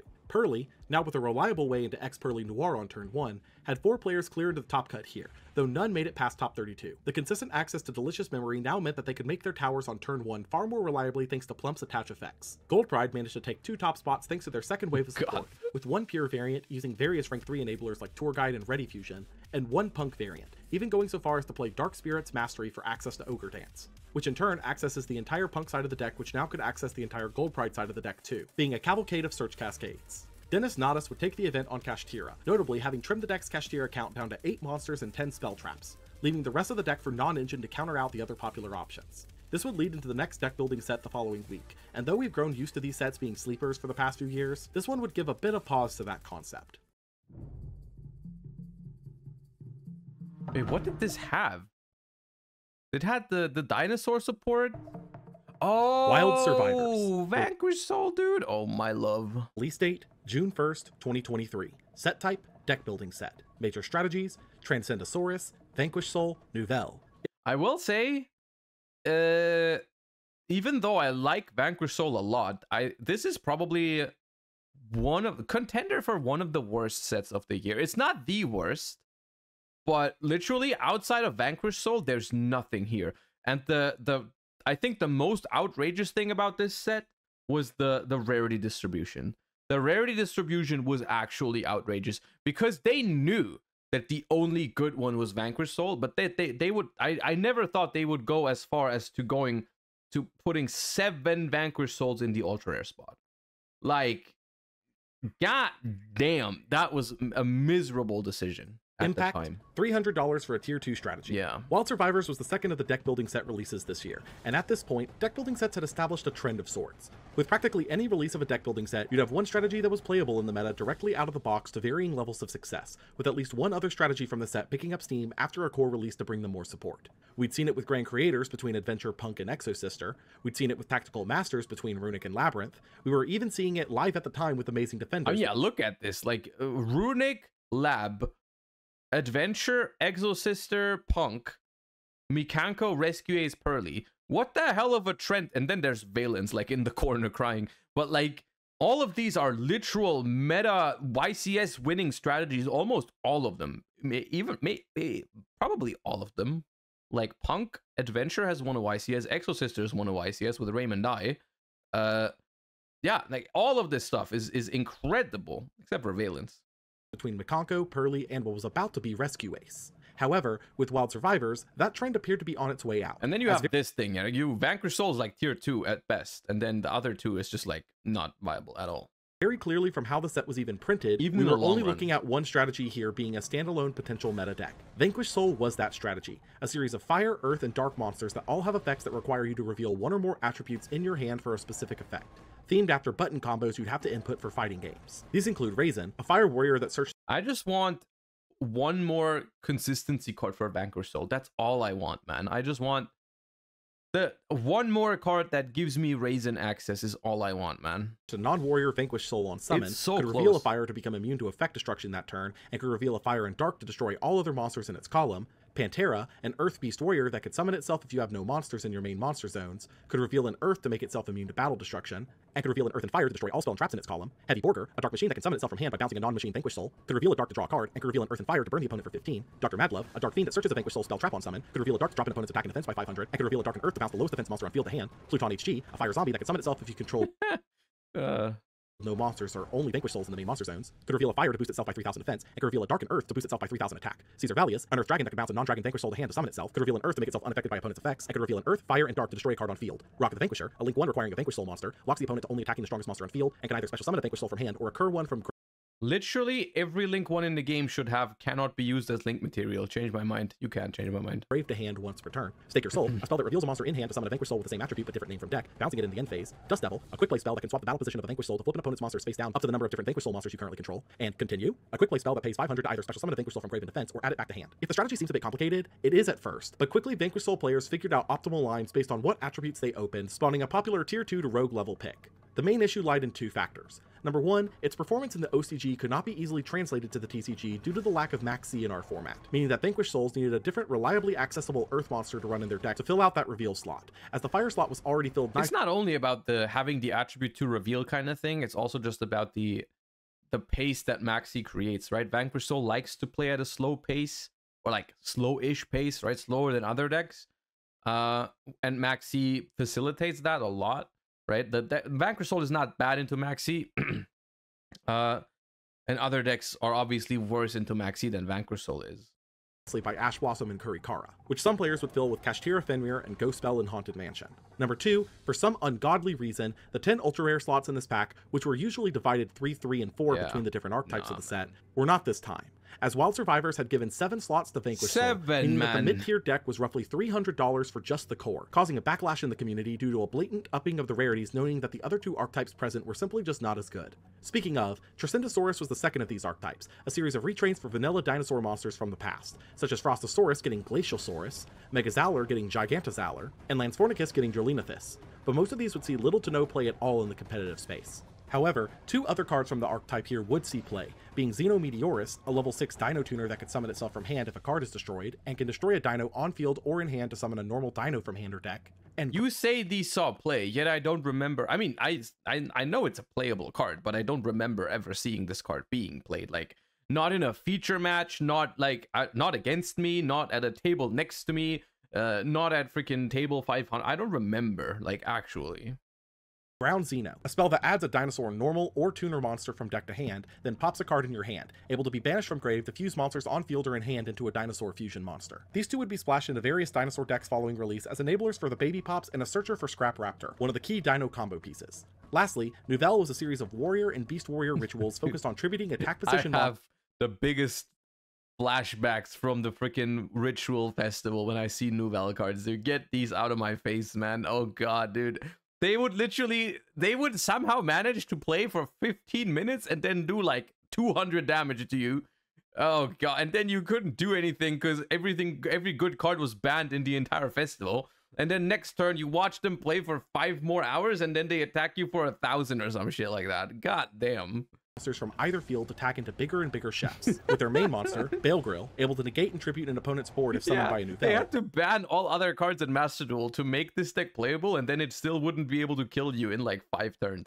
and can, on quick effect, tribute an opponent's attack position monster to summon Hungry Burger from the deck. Welcome to Good Burger, home of the Good Burger. Can I take your order? Put simply, the concept of the deck was indeed interesting, with an actual built-in reason to play the classic Hungry Burger, but due to their nature as ritual monsters and the clunkiness of requiring the opponent to play into them to get their true value, Nouvelle was not meta in the slightest on release. Reprints here included UCT, Misk, Soul Eating Oviraptor, Baby Ceratosaurus, Petiteranodon, Fire Formation Tenki, Lithosagym, the Incantation Monsters, Archosaur, Econ, Double Evolution Pill, Fossil Dig, Allure, Pre-Prep, Lost World, Deck Yeah, not a really, not a very good set overall. I don't know why, but they never really seem to put very good reprints into the into the deck building sets. Like I don't know why that is. Like if you realize your the three archetypes aren't as good, like only Vanquish Soul is good, just just chuck in a couple good reprints instead of making like seven Vanquish Soul ultras, dude. Dev, Eradicator, and Teekboo. Four days later, on June 5th, the June 2023 ban list would take effect, which extremely notably was dropped during round two of YCS Philadelphia.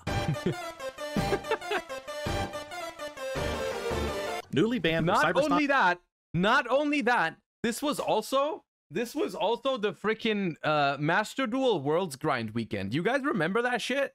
Like i was sitting here losing my mind because i was playing master duel for 72 hours straight and they drop a freaking ban list and i'm sitting here like this in my freaking chair right? Playing master duel for like 20 hours straight being tired as shit and that's when they're like oh yo you know what we're gonna do we're gonna ban a heart right fucking now man god a necessary ban due to all the FTKs present from this one card, from Valance to now Super Heavy Samurai, all able to FTK with a single card thanks to this. Number 89 Diablosis the Mind Hacker. oh no this was wasn't only even the used at rice heart ban list this was the diablosis Age to cause problems in Kashtira specifically, the enabler of the Shangri-Ira turn 1 lockout. Super Heavy Samurai Scarecrow, a massive hit to the new meta presence, which heavily limited how consistent the deck could start its play lines by effectively removing their ability to search the combo.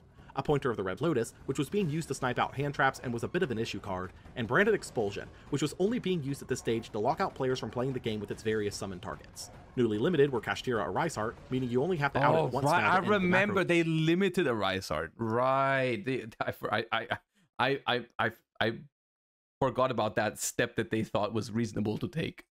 lock. Mathmech Circular, the one card Ooh, this was on. Little did we know, chat. Little did we know this was only step one. Combo troublemaker that was too consistent for its own good, but was still playable due to being searchable by cards like Cynet Mining, PSY-Framegear Gamma, one of the most annoying hand traps to play against in the meta, Purrely Delicious Memory, which while not a very big hit on paper, absolutely killed Purrely's consistency on turn 1, as now you couldn't reveal 3 Delicious off of Delicious Memory was the kind of hit that if you didn't play a lot of Purrely, it may have not seemed the most impactful to you because I when I saw this the first time, I hadn't been playing much Purrely at the time yet. Uh, I thought this was not the most important memory because it wasn't even one of the ones that you could activate on an open board, right? It need you need a monster on the board to even activate it. So I was like, why is that that big of a deal? Um, and it's not the it's not the happy memory for the OTKs or the whatever. Like, but the the the fact that this is the one that makes plump is something that you you realize once you play Purrely how important that is. my friend, Naturia Sacred Tree, absolutely obliterating Naturia. They this I, am still mad about this by the way to this day. They had they had no business limiting Sacred Tree. They, they had literally they they went too far. I'll say it. They went too far. Runick out of the meta by limiting their searches to game to once per duel effectively. No shot, And the return man. of Blaster and Denglong, two cards that have been on the list for quite some time, with Blaster being the second worst ruler after Tempest, and Denglong being previously a synchro combo piece that ended on a search for nine pillars as an Omni Negate, but with the Rorodon band was not nearly as I was scared of Denglong at the time, but it, it turned out to be just not a problem. I played against Sword Soul with Denglong at German Nationals. Uh, and then after that, I wasn't scared of Denglong anymore. problematic. Newly semi-limited were Kashtira Unicorn, hits to the deck's best starting monster, Lightning Storm, hits to the best generic board breaker, Runick Fountain, being a slap on the wrist for Runick, We've suffered enough. You guys know we've suffered enough, right? You guys know that. Sprite have to tell Starter, a small hit to sprites to keep them from rising into the meta with a weakened Kashtira, and Herald of the Orange Light and Engage, both up from one, with Herald Yeah, being don't call it a slap on the wrist, by the way. It's a soul crushing defeat that we've taken on this day. Like, don't sugarcoat it, man. It's been rough. being released due to the Ishizu names all being limited, and Engage due to upcoming Sky Striker support. Lastly, unlimited were Steam the Cloak, Birdman, Recital Starling, Samsara Lotus, Quick Fix, Draco Faceoff, and Multi-Roll, all being either list cleanup or buffs to decks with support coming down the line. This particular ban list, going into the national season, was a weird one to say the least, hitting both Purrely and Super Heavy Samurai before they even had a real chance True. This was unprecedented. I mean, not unprecedented, but like the this was super super fast. They dealt with Super Heavy Samurai really really fast, which I mean, I think it was good. I think um certain because one thing you guys have to realize, and I'll I'll tell you why this is a good thing, right? the most of these cards are being designed by the OCG people, right? OCG Konami is designing a large portion of the Yu-Gi-Oh cards, right? And like um they are designing a lot of cards with Maxi in mind. You can clearly tell that certain cards are being designed in a way where they're like, okay, um, this strategy is very special summon heavy. It doesn't really have a plan B. It cannot run called by and cross out that was a big deal for Super Heavy, right? Super Heavy could not really out Max C outside of Gamma. If you just waited until they had a monster on the board, they couldn't really out Max C except for Ash, right? Um, and so, like, this deck was clearly designed to be super combo heavy, super strong, uh, and only be limited in its power by Max C, right? And like, um, freaking Super Heavy Samurai still performed really well in the OCG, right? But sometimes like the TCG has a different mentality on things like that. On Maxi, Maxi's banned here for a long time. The TCG clearly doesn't want these things to exist in the first place. We don't want to have, we don't want to play the game of, hey, you can play a deck that special summons a thousand times, but we have Maxi in the game, so sometimes I just beat you. You know, like we don't have that kind of Gamba mentality here. Um, at least the Konami, you know, I mean, blessed be their be their souls. You know, thank God we don't. Um, they just got rid of it because they were like, okay, this deck was clearly designed for the OCG environment. This is not this is not well suited for the TCG. We're gonna get rid of it, and that's it was very base that they that they did that very fast, right? and that's why they made this stuff common as well. I think, uh, or super rare, whatever it was. The the the, the new super heavy samurai stuff was cheap because they they knew they were gonna murder it because it was not it was not made for the TCG. Chance to shine and hitting the most annoying aspects of Kashtira, but not enough to keep it from being the arguably best deck in the format. The first real test of the meta would be the Central America WCQ held less than a week later, and right off the bat, it was clear that the hits were not enough to knock Kashtira off its throne, taking 14 of the top 64, simply adapting the extra deck and moving on with its life. Sprite would be the more interesting breakout here thanks to its pivot towards more supplemental engines. This deck was so based, man. With Carlos Mikado taking the event with Live Twin Runick Sprite, mixing the various level 2 engines together to form one cohesive strategy. Vanquish Soul would have a solid first appearance, with three players clearing into top 64, with a top out The Fusion Destiny period was wild. being top 8. notably playing a couple more generic tools in their lineups to flesh out the attribute count like Fenrir and Ghost Belle for your Earths, Ash Blossom and Kurikara for your Fires, and one player even using the DPE engine to up their Dark count. This would be the official start to the national season, with one more set release between here and the remaining WCQs, and judging by the set list, it wasn't going to change much, but it might hold some surprises for later. Probably not impactful if you have to start with this kind of card. What is it? Main set? Oh, Battle- Battle, of Legends. Tales of Legend Duality, surely no impact, right? Monstrous Revenge. Release date June 22nd, 2023. Set type Import, Reprint. Major strategies Synchron, Hero, Chaos. Impact A couple of meta sleepers. Monstrous Revenge would be an important set for the year, not because of what it brought, but for what it started. With the release of Monstrous Revenge, the 25th anniversary I celebration. mean, this set is literally Assault Synchron and Duality.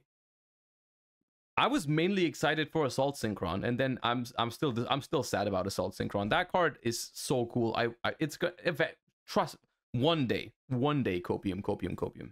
Oh, Azalea, right. primarily punctuated by the inclusion of the new quarter century secret rare rarity into all sets for the next year, being placed onto both new cards and reprints within the set. As for new cards, Assault Synchron would be the talk of the town on release, being a level 2 tuner that can summon itself from hand by burning the player for This thing was like fifty bucks on pre-sale, and then now it's like five or not even. 700, God able to damn. banish itself from grave when a Dragon Synchro is tributed to revive it. While not staple, Assault Synchron would be a piece that was heavily experimented with in various decks, but primarily in Sprite Adventure Brews, as its level 2 nature opened up a lot of avenues for the deck. Elemental Hero Flame Wingman Infernal Rage, Really? Skydive Scorcher was right there. Was a fusion of any two differently attributed elemental hero monsters. Adds a favorite card from deck or grave to hand on summon, and can be tributed to summon another level 7 or lower elemental hero that can't be normal summoned or set Is Assault Synchron not that good? No, Assault Synchron is a good card. It just hasn't found a home yet. You know, uh, like in the in the OCG, it was extremely good because of Chaos Ruler. Uh, for us, I think it's a very good card. It simply hasn't really like found a home yet. Uh, but I think it could eventually.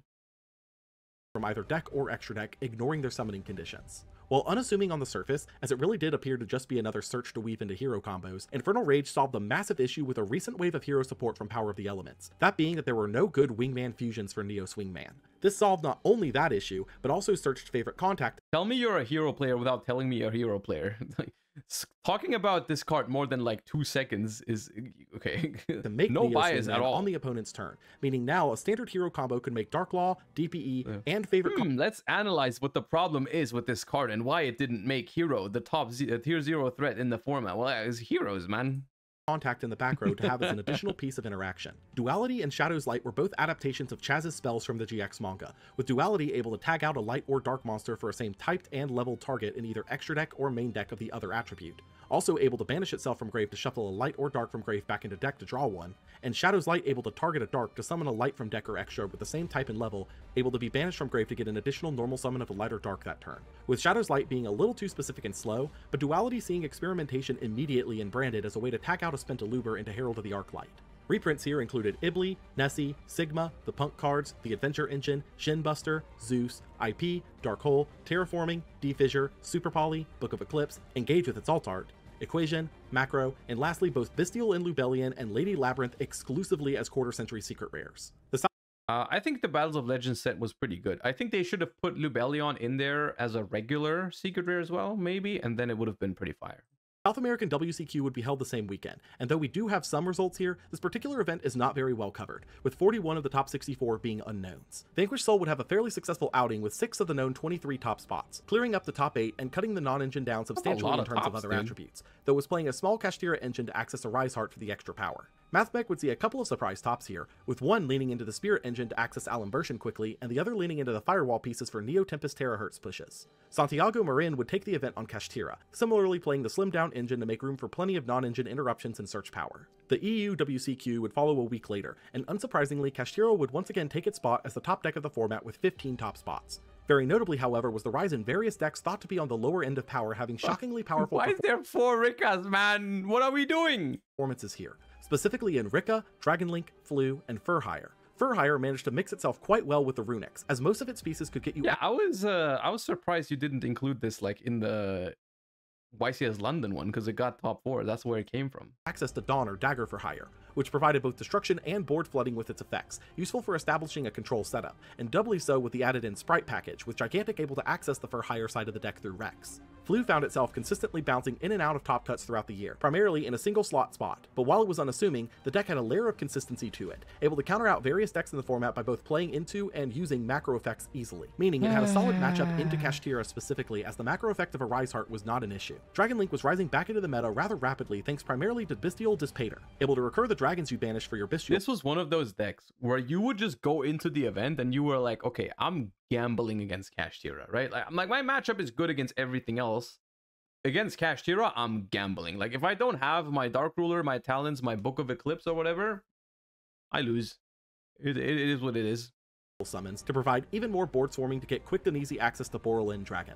Rikka Sunavalon, though, was the breakout star of the event, piloted to a first place finish by Jessica Robinson, showcasing the resilient power of Rikka and Sunavalon when played together, especially with the extra interaction points provided by ConCon and the Therion cards. The Oceania Championships would be held the same day, and we'd see similar results to the EU WCQ with a couple of notable exceptions. Purrely, fresh off its loss of Two Delicious Memory, topped tier not once, but four times, with one pilot taking the deck as far as second place, opting to max out all the remaining quick plays for ease of access to the monster line. Kun Kun Lee would take the event on Kashtira, playing a fairly standard line up to what we've expected at this stage. The NAWCQ would wrap up WCQ events for the year a week later, and once again Kashtira would dominate, taking the event piloted by Jeremy Mitchell, with the deck almost entirely standardized at this point, only varying in the non-engine play. This was four cash in top four, right? Probably the most talked about deck outside of this though was Hero, which took one spot in the top 32 here sporting the new Wake Up, Infernal Rage, and Neo Okay. Wingman packages, letting the deck reliably set up a turn 1 board comparable to Kashtira's. No other interesting decks that topped anywhere in the world, but the heroes? Ooh. This would be the last event before this year's World Championship. But No prior to bias. that, the third core set of the year would be given to us, and any hope of a meta shakeup before Worlds would entirely rest no, on our I'll allow it. It's fine. Be biased all you want. Duelist Nexus. Release date July 27th, 2023. Set type Core Set. Major strategies Synchron, Illusion, Unchained. Impact the start of a new era. Duelist Nexus, on the other hand, was like, uh, I feel like, at least looking back, I didn't think it was going to be as impactful as it was because it was very, very good. Um, but like, yeah, it was interesting. While technically Duelist Nexus is Looking back, it has a lot of really good stuff in it. era starting point, as no new show or summoning mechanic accompanied it, the shift in the pack's design layout, as well as its nature as a green pack, heavily implies that Duelist Nexus is the Green start of the eighth equals era of broken. Yu-Gi-Oh! And as such, it does one thing that a few previous eras have done, introduce a new monster type. That would be the Illusion type, based on the various custom monsters from the older non-Yu-Gi-Oh! Yu-Gi-Oh! games like Dark Duel Stories, with the first archetype of these being tied into Yugi's original monsters of Gazelle, Berfomet, and Do we like illusions, chat? I think illusions are cool. I kind of like it. It's just it, it doesn't have much yet, right? But I kind of think the I kind I kind of get behind it. I think it's cool. Chimera. This initial wave gave us Gazelle, the King of Mythical Claws, who can add a level 5 Fiend or Chimera fusion to hand on summon, searching an illusion monster if sent to grave for a fusion, Big Wing Berfomet, who searches a level 4 Beast or Chimera fusion to hand on summon, and summons an illusion monster from grave when used as fusion material, Cornfield Coatl, sharing a common effect with its other illusions in this group of not being able to be destroyed or destroy others in battle, can discard itself to search for a I mean, that's just what every illusion card has, right? That's that's the whole point, right? It's because they're not real. They can't they can't kill anything, but they can't get they can't be killed, right? They ever make an illusion that can't be destroyed by a battle, I'll be disappointed. I'll be mad.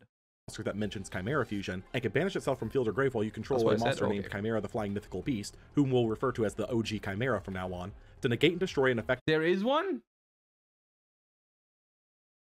that targets a card you control, Mirror Sword Knight, with the same God battle damn it. effect, contribute itself to summon a monster from deck that mentions Chimera Fusion, and can banish itself from field or grave while you control the OG Chimera to negate a monster effect. Chimera, the King of Phantom Beasts, a fusion of a beast and a fiend whose name becomes the OG Chimeras on field and in grave, rips a card from the opponent's hand and the end phase its fusion summon, and can banish itself from grave on the opponent's turn to revive a beast, fiend, or illusion monster. Chimera, the Illusion Beast, a fusion of the OG Chimera and one or more illusion monsters whose name becomes the OG Chimeras on field and in grave, can attack monsters up to its number of fusion materials, has the same battle destruction prevention effect, and if it attacks a monster, drops that monster's attack to zero and negates its effects at the end of the damage step. And Chimera Fusion, a quick play fusion spell requiring the use of a beast or fiend, and can, during your main phase while it's in grave or you have the OG Chimera on field or in grave, can either add itself back to hand or can banish itself from grave to summon the OG Gazelle and OG Berfomet from deck or grave. Where to begin with this wave? If Illusion wanted to make an impactful first wave, this was the way to do it. Not by making it powerful on its own, but by latching itself to a currently meta deck. Because Gazelle searches any illusion monster when used as fusion material and was a beast, it meant that Branded Fusion could send it for Rindbrumm, allowing you to make a full Chimera push off of Branded Fusion. Branded Chimera was kind of cool. I kind of I kind of like that deck. It- It's never been. I, I don't think it's ever been tier one, but it was a it was a cool kind of thing. which will become a popular option come the next YCS. Synchron and the 5D's dragons in general Oh, would get a oh, I nice was new looking forward. To, this is another assault synchron situation to me.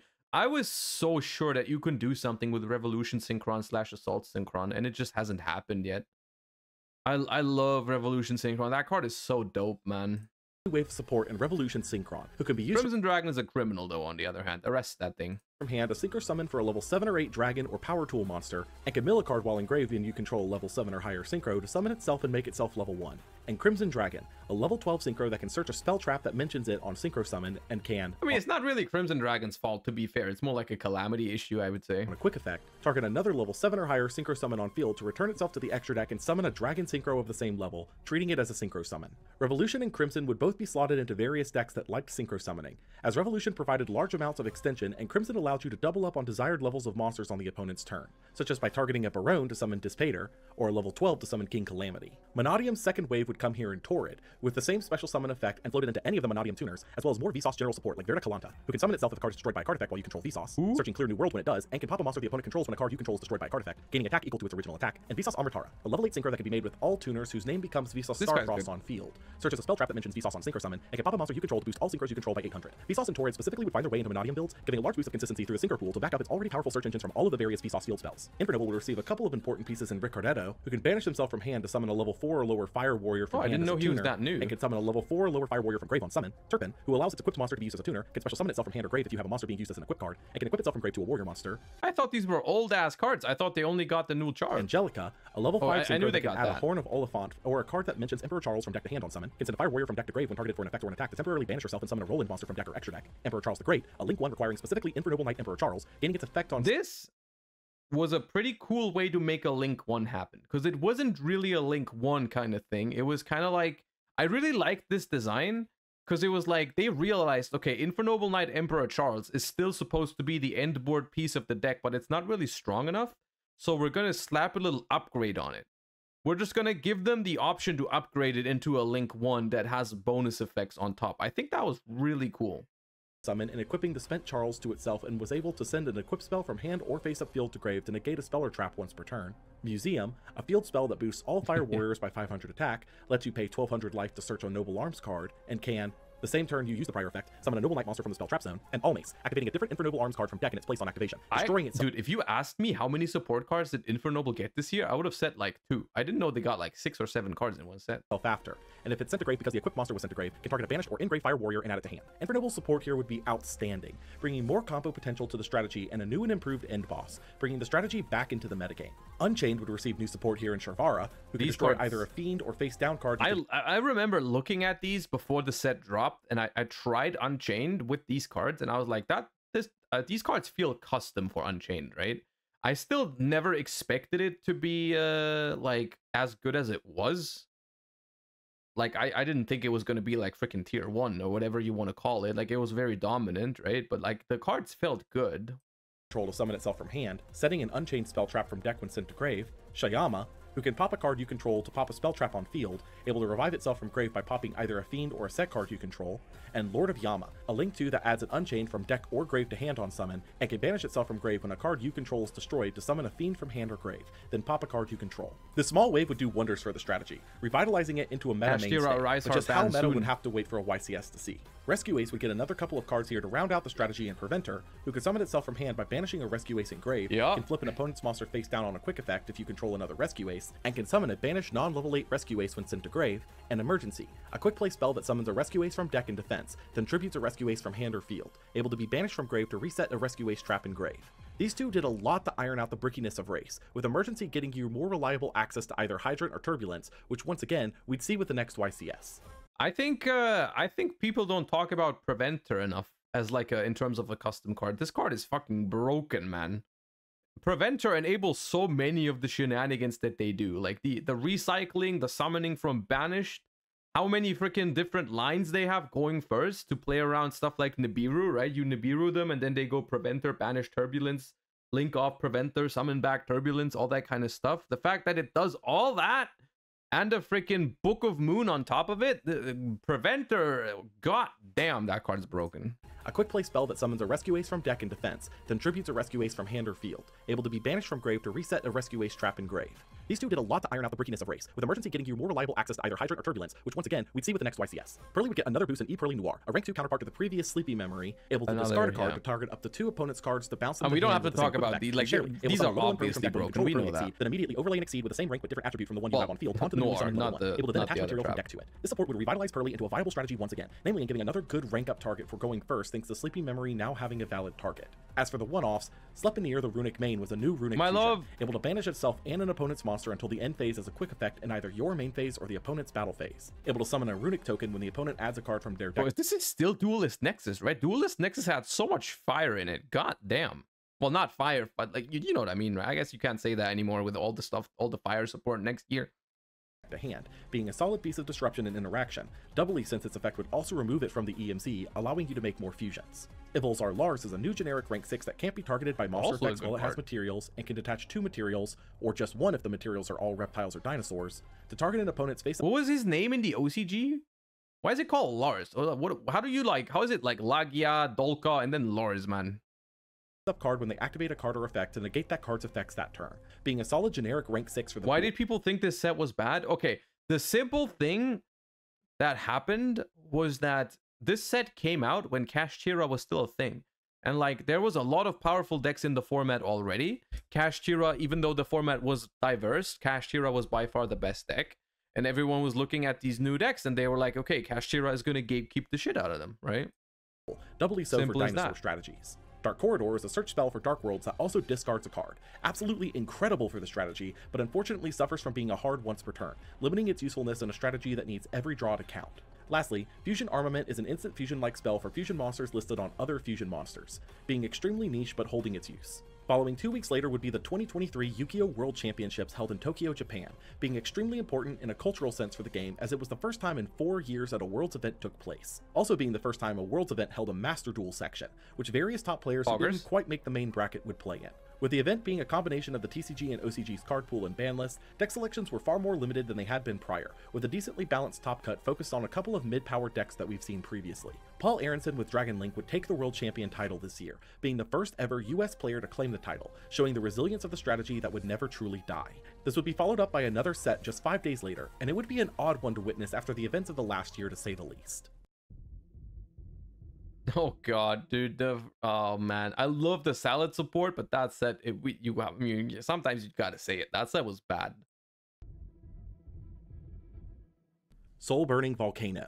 Release date August 10th, 2023. Set type Duelist Pack. Major strategies Salamangreat, Battle and Boxer, Volcanic. Imp- It's funny because looking back, like into next year, some of the cards in here are actually pretty useful because a lot of other fire decks use like Sunlight Wolf, so the Ghost Rare is kind of nice. Pyro Phoenix or what? No, Raging Phoenix is the one in here, right? Raging Phoenix is kind of going up because some decks are using it. You know, like it, it's kind of like uh, you know, and the volcanic cards are also. I mean, people are starting to talk about those kind of cards a little bit. Maybe it's one of those where like the cards are better like a year down the line or something like that.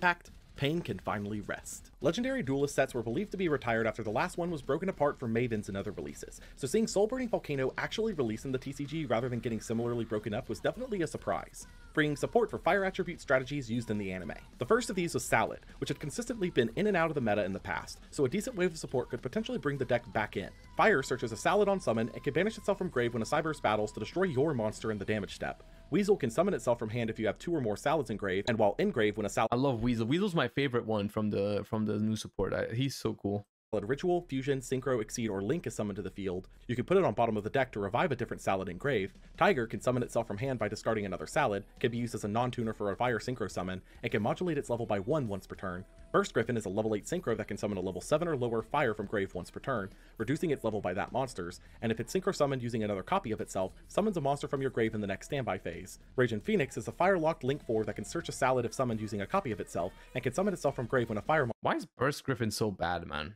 Monster is destroyed, gaining its attack. Charge is a quick play spell that can shuffle back two banished or graved fires to summon a third, negating its effects and preventing attacking, or can pop a card on field if you control a ritual, fusion, synchro, exceed, or link fire with an attack different from its original. And revive is a trap that revives a fire in grave and can be banished from grave to Somehow, like there's there are so many Salamangreat spell and traps, yet like 90% of them are complete ass. Like Circle is good, uh Rage and Roar are solid.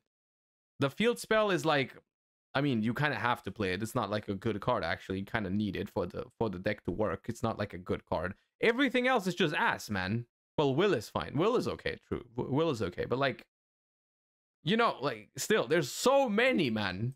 Shuffle a Saladin Grave with the same name as one on field to boost the field monster's attack by the shuffle monster's attack. More swarming, searching, and recursion is always appreciated for Salad, but this particular support simply just made Salad better at what it was already pretty great at, seeing very little relevant movement in Salamander of Fire should have been level one. That would have been interesting. from it. Battlin' Boxer would receive its first support since the Zexal era with Uppercutter, who searched a Battlin' Boxer or counter counter trap on summon, and when sent to grave can summon another Battlin' Boxer from grave, or set a counter counter trap from grave. Chief second, who let you normal an extra Battle Boxer and I'm when 2Xing attacks while you control a Battle warrior or fire monster, can summon itself from hand, negate the attack, and banish a monster on field until the end phase. Promoter, who can summon itself from hand if the opponent controls a monster, contribute itself to summon two other Battle Boxers from deck, and can banish itself from grave to level modulate all Battle Boxers by one. Number C79 Battle Boxer General Kaiser, a 3 mat rank 5 that gains 200 attack for each material it has, can attach to to negate a special summon the opponent performs, and if it has no Kaiser as material when attack is declared involving a Battle Boxer and an opponent's monster, you can send a Battle Boxer from hand or deck to grave to absorb the opponent's monster's material. King Dempsey, a rank 4 that searches or dumps a level 4 lower fire guy's good. warrior or Battle Boxer spell trap, and can detach a material on a quick effect to prevent targeting Battle Boxers with card effects for the rest of the turn. Seventh Force, a quick play spell that when a monster is destroyed in battle phase, targets a number exceeding grave and summons a number C from the extra deck that is one rank higher, attaching the targeted monster as material. Then able to search a 7th, variance, or rank up magic spell trap from deck to hand if you summon a 101 to 107 monster this way. And Cross Counter, a counter trap that negates a monster effect and destroys it by destroying a Battle Boxer or number monster you control. Then summons a Battle Boxer exceed from extra deck with a different name, attaching Cross Counter as material. While this support would be great for the archetype, Battle Boxer has not been anywhere near meta relevant,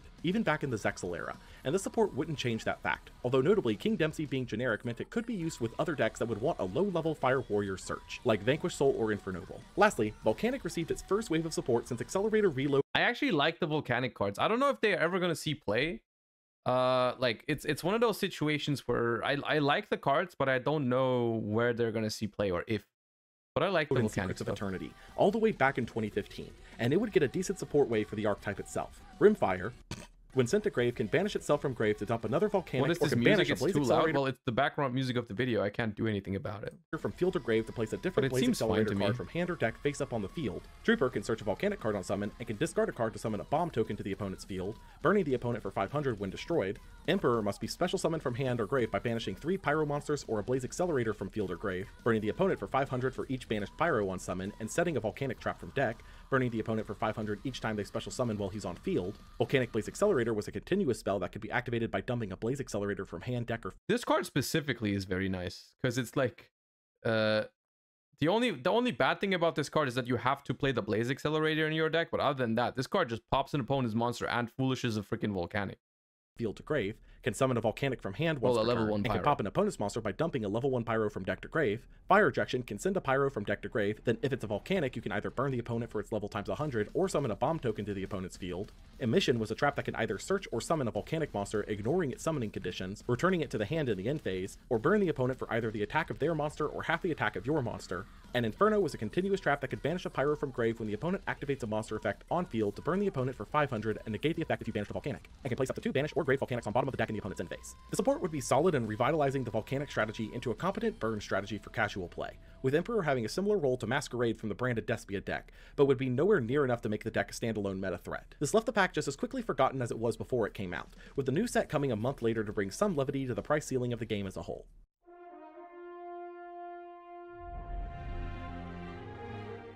Dueling Heroes. Release date September 7th, 2023. Set type reprint set. Major strategies what the hell is dueling heroes? the relevant cards of 2022. Impact lowering the price of tier 2 plus strategy. Dueling heroes? Oh, megatins. Oh, megatins. Okay, I, I was Dueling like, Heroes would be this oh, year's okay, Megaton, okay, okay. and as expected would reprint various good strategies from 2022, reprinting the archetypes of Libromancer, Dinomorphia, Therion, Scareclaw, Exosister, Bystial, Blackwings, Kashtira, Dracoslayer, Labyrinth, The tins, I like the tins looking. I mean, the tin, I think the tins were good. I think it, it was a little bit overshadowed by the fact that they left out um they left out sprites Kurikara and specifically like Perla Rhino from Tearlaments, right? That was the one that every that was the cards that everyone was complaining about, right? Outs, I mean, they still had a huge amount of good reprints. I still think I, I still look well, mm, good tins. Runic, and liked it. Adventure, in addition to the standalone cards of Illusion of Chaos, Machinex, the Zombie Vampire, Alba Lenatus, Pep, I mean, that's a lot of good fucking stuff in here. You know? Beyond the Pendulum, and Blazing Cartesia. For the most part, these reprints weren't very relevant to the current metagame outside of reprints of Fenrir and Unicorn, but were still appreciated for dropping the price ceiling a little bit. YCS Vancouver would be held the same weekend on September 8th, and with this being A uh, Rise Heart still wasn't banned when Unchained was taken over. Really? I forgot about that. I thought I thought Arise-Heart was already gone. The first YCS post Dune, the meta had been substantially shaken up by the results here. For starters, Kashtira had fallen from its prior pedestal, dropping all the way to fourth in comparison to its competition. Purrely would rise to a comfortable space in the meta with the release of E Pearly Noir, giving the deck a reliable going first exceed target with Sleepy since you do not need to control a monster to activate it. Dragon Link had risen severely in popularity following its Worlds performance, with more players taking advantage of Dispater alongside the swarming potential of the Light and Dark Dragons. However, the absolute breakout success here would be Unchained, taking 9 top spots and winning the event piloted by Jesse Kotton, once again Right. tying the record for most YCS Oh right, because it was just like it was the Thrust, Eclipse, Talons era, and Nib to to beat Arise-Heart, and then it was just good into other stuff and had a had a lot of good non-engine into into cash. Yeah. wins at 5 total, with the new Unchained cards effectively turning the deck into a sort of fiend box, similarly to how Dragons form Dragon Link, with Tour Guide being a full Unchained line and Dark Contract with the Abyss being a surprise tech choice that would become staple Y'all remember when people argued about playing Tour Guide, like a literal one card combo in a deck that didn't have one card combos and didn't need its normal summon? And people were like, "Yeah, I don't, I don't think you should play that. I don't think you should play this one card that wins you the game, like and does full combo on its own, and and like you don't need your normal summon anyways. I, you don't need it."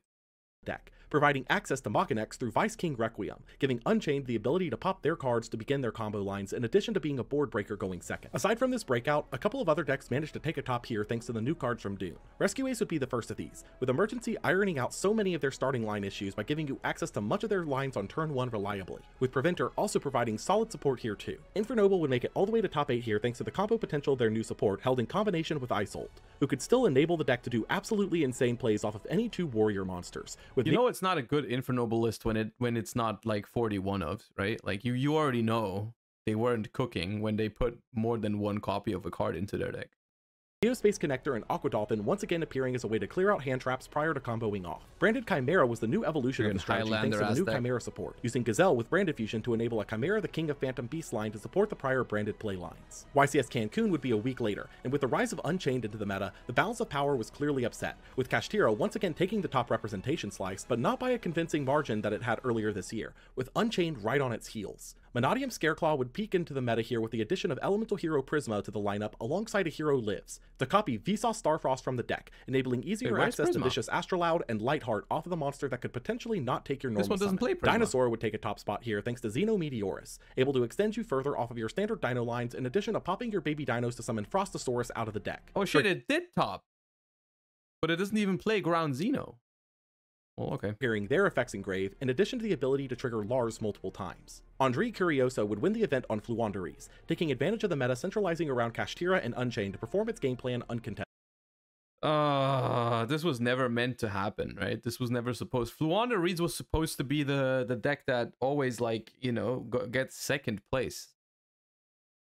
I don't know. That was like a there was a, a crack in the matrix or something like that when this happened. This would lead into the next structure deck release a week later, and while it wouldn't be the most impactful, changes were on the way alongside it that were sure to shake up the meta substantially.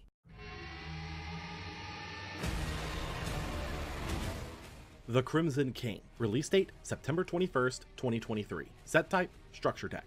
Major strategies Resonator, Red Dragon Archfiend. Impact New pieces for Dragon Link. The Crimson King would be the second structure deck release of the year, being focused around the archetypes of Resonator and Red Dragon Arch. This deck in itself is not very good. Not like, you know, like Fire King or Traptrix make their own deck and are viable strategies. Red Dragon Archfiend is not a viable strategy, but the cards are very splashable. Like specifically, uh, Vision Resonator, Crimson Gaia are pretty good cards in other decks. Like you, you did those can pop up uh, here and there and are like viable uh, pieces. Like there, there's there's good cards in here.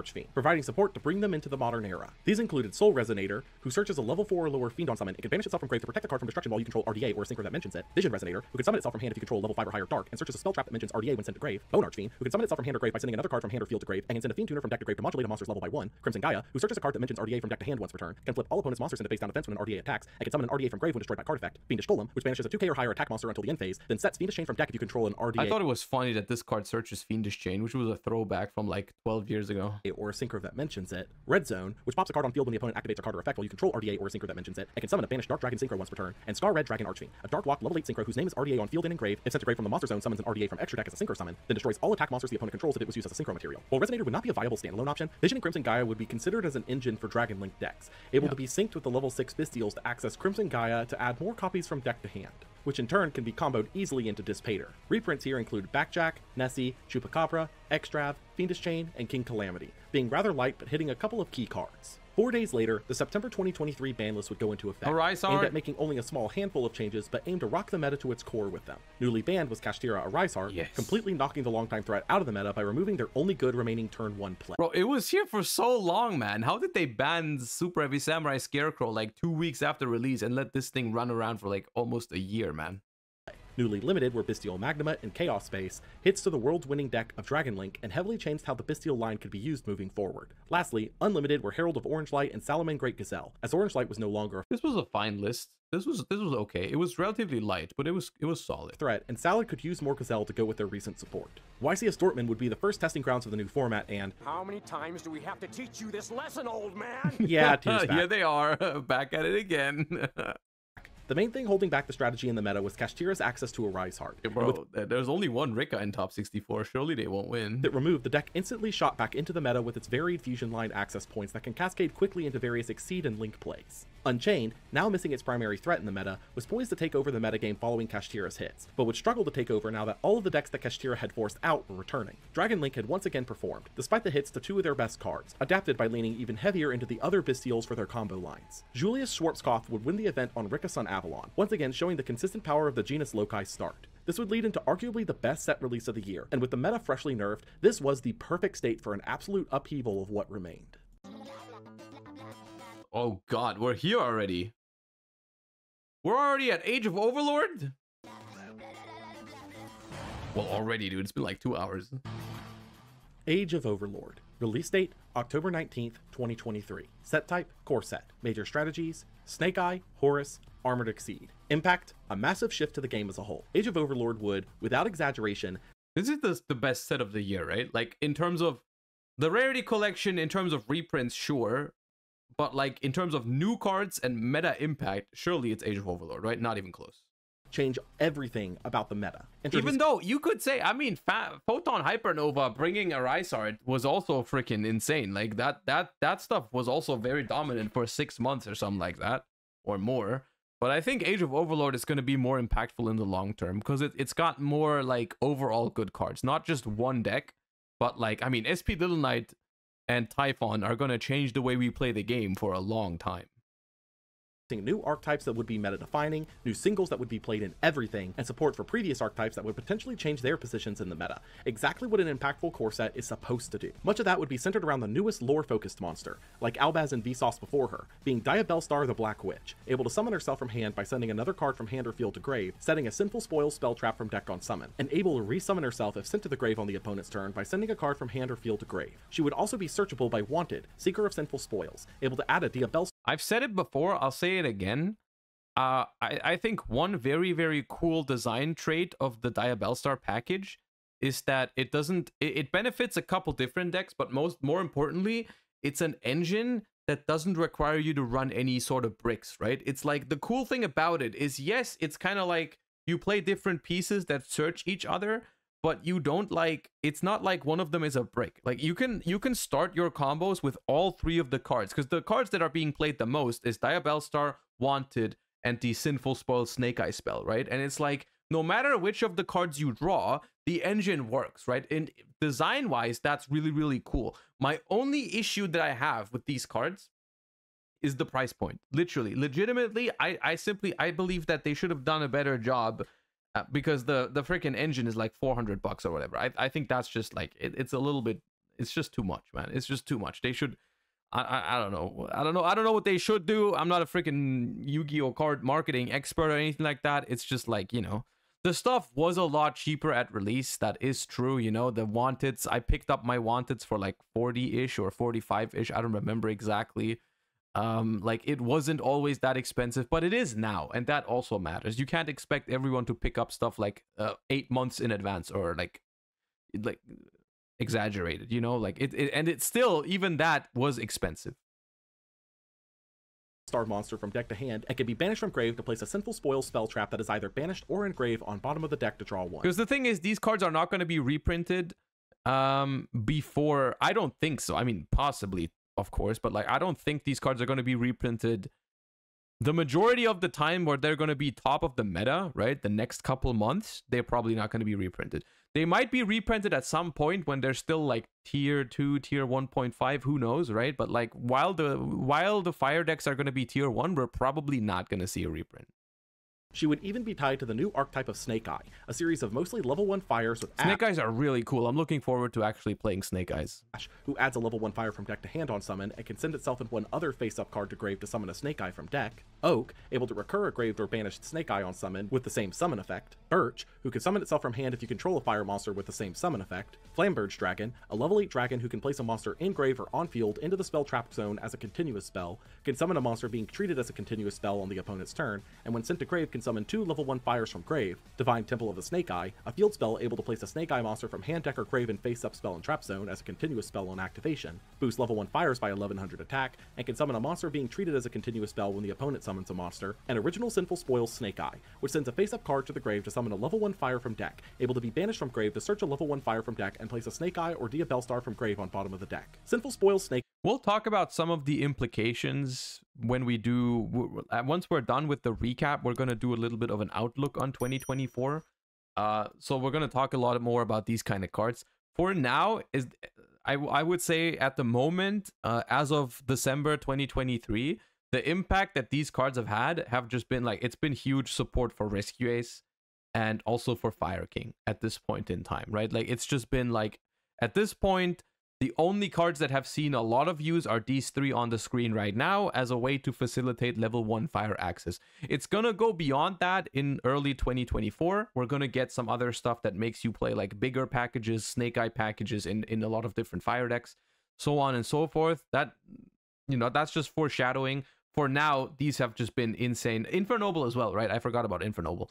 Um, but massive boosts in general for level one fire type decks. You know, like anything that played level one fire, like even even Mikanko with um with Renaud. You know, like, but it's always been these three cards pretty much, right?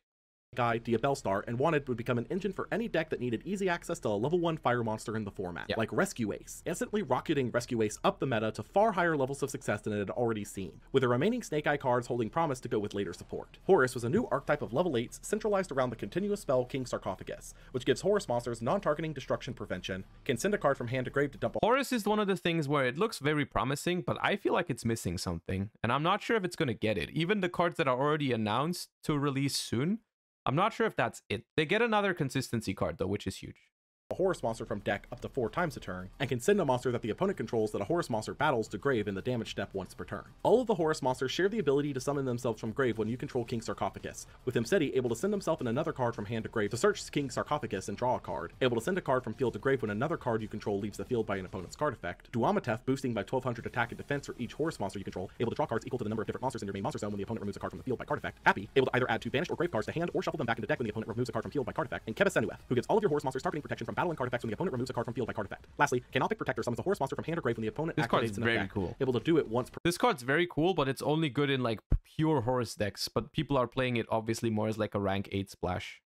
Per monster name, and resets itself when sent from hand or field to grave. These cards form a pseudo engine of sorts for decks that don't mind playing out of the graveyard, as you can use King Sarcophagus to effectively trade your opening hand for a grave of resummonable level 8s, which in turn gives you access to the rank 8 pool's various options, seeing success with decks like Tyr. Visas and Mannadium would get a wave of new cards focused around the Visas synergies, but the two most important of the wave came in Visas Samsara, able to be considered a Visas Starfrost on field and in grave, can summon itself from hand by shuffling back any number of banished, graved, or on field Visas monsters, boosting by 400 attack for each different one shuffled, and can be treated as a non-tuner for a synchro summon, and Mannadium Trisukta, a level 6 synchro tuner that can summon a level 2 tuner from grave on This summon, card's also negating its effects, insane. and can swap any number of tuners on field to level isn't this also a tuner?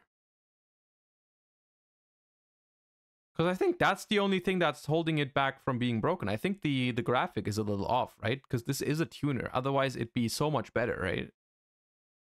It is a tuner. Yeah, yeah, okay. to that turn, locking you into synchros when you do. Oh. These two would immediately be included into the various Mannadium pile decks that popped up, which we'll talk about with the next YCS. The Exceed armor line would be a new set of generically splashable Exceeds that play off of each other for advantage generation with Torpedo, a rank 3 that can detach two materials to draw one and gives a monster it's equipped to effect stunning when they attack, and if it's an Exceed, targeting protection from effects. Fortress, a rank 5 who can overlay itself onto any other rank 3 or 4, cannot be used as Exceed material unless it has no materials, can detach up to two materials to add an armored Exceed card for each material detached from deck to hand, and gives a monster it's equipped to double battle damage. Full armored Dark Knight Lancer, a 3 mat rank 7 that can overlay itself onto a rank 5 or 6, boosts itself by 300 attack for each material. These are interesting cards. They just haven't really done anything yet. An equip card on it, can add an Exceed named card engraved to hand once per turn, and can, when an equip card becomes equipped to a monster you control, absorb an opponent's monster to itself as material. And Full Armored Exceed, a trap that while you control an Exceed monster, Exceed summons using monsters you control, and can be banished from grave to target an Exceed monster and equip another Exceed from field or grave to it as an equip spell, with the effects of boosting the equipped monster by its attack and can destroy itself to protect the monster from destruction. These cards would be extremely generically splashable, with any deck able to make a rank 3 able to use the full line with one copy of Full Armored Exceed in the deck, to use to summon Dark Knight Lancer on the opponent's turn using Fortress, and any deck that can make a rank 3 or 4 that can lose all of its materials can do the same line without Torpedo, with Mathmech being a particular beneficiary thanks to Alan Bershan. Vanquished Soul would receive a new wave here in Xiaolong, a fire worm that can summon itself if a Ah, Jiao Long, man. This card, at the same time, was really, really cool for Vanquish Soul. At another time, was also kind of disappointing. So, like when I when I played Vanquish Soul for the first time, the deck had two issues, two more or less heavy issues. The it comes down to consistency because it, it it needs Razen, right? Uh, and the other thing is it before Jiao Long, its problem sometimes was just like its ceiling, right? Like sometimes it just didn't have the oomph, you know, to actually like it didn't feel like even if you had Razen, it didn't feel like you were doing anything incredibly powerful. You know, like people would be able to just break the board and, and kill you or win the game, even if you did open pretty much full combo, right? Um, and so when I when I read Jiao Long for the first time, I thought it was going to fix the consistency problems because it's a searcher, right? Like uh, surely you, you you would think a searcher gives you the ability to to be more consistent. However, I think it, uh, contrary to what I thought at first, it doesn't do that pretty much at all because uh, you really can't use Jiao Long to search Razen if you don't have Razen already most of the time, because quite simply, you're not going to be able to summon this thing and still have two fire monsters in hand uh, to still search a Razen. That That's just not very likely to happen. It's only like, uh, it only happens very, very rarely that that could happen, right? Yeah, it gives you some more consistency for Stake Your Soul. You have more fire monsters in the deck, yada yada.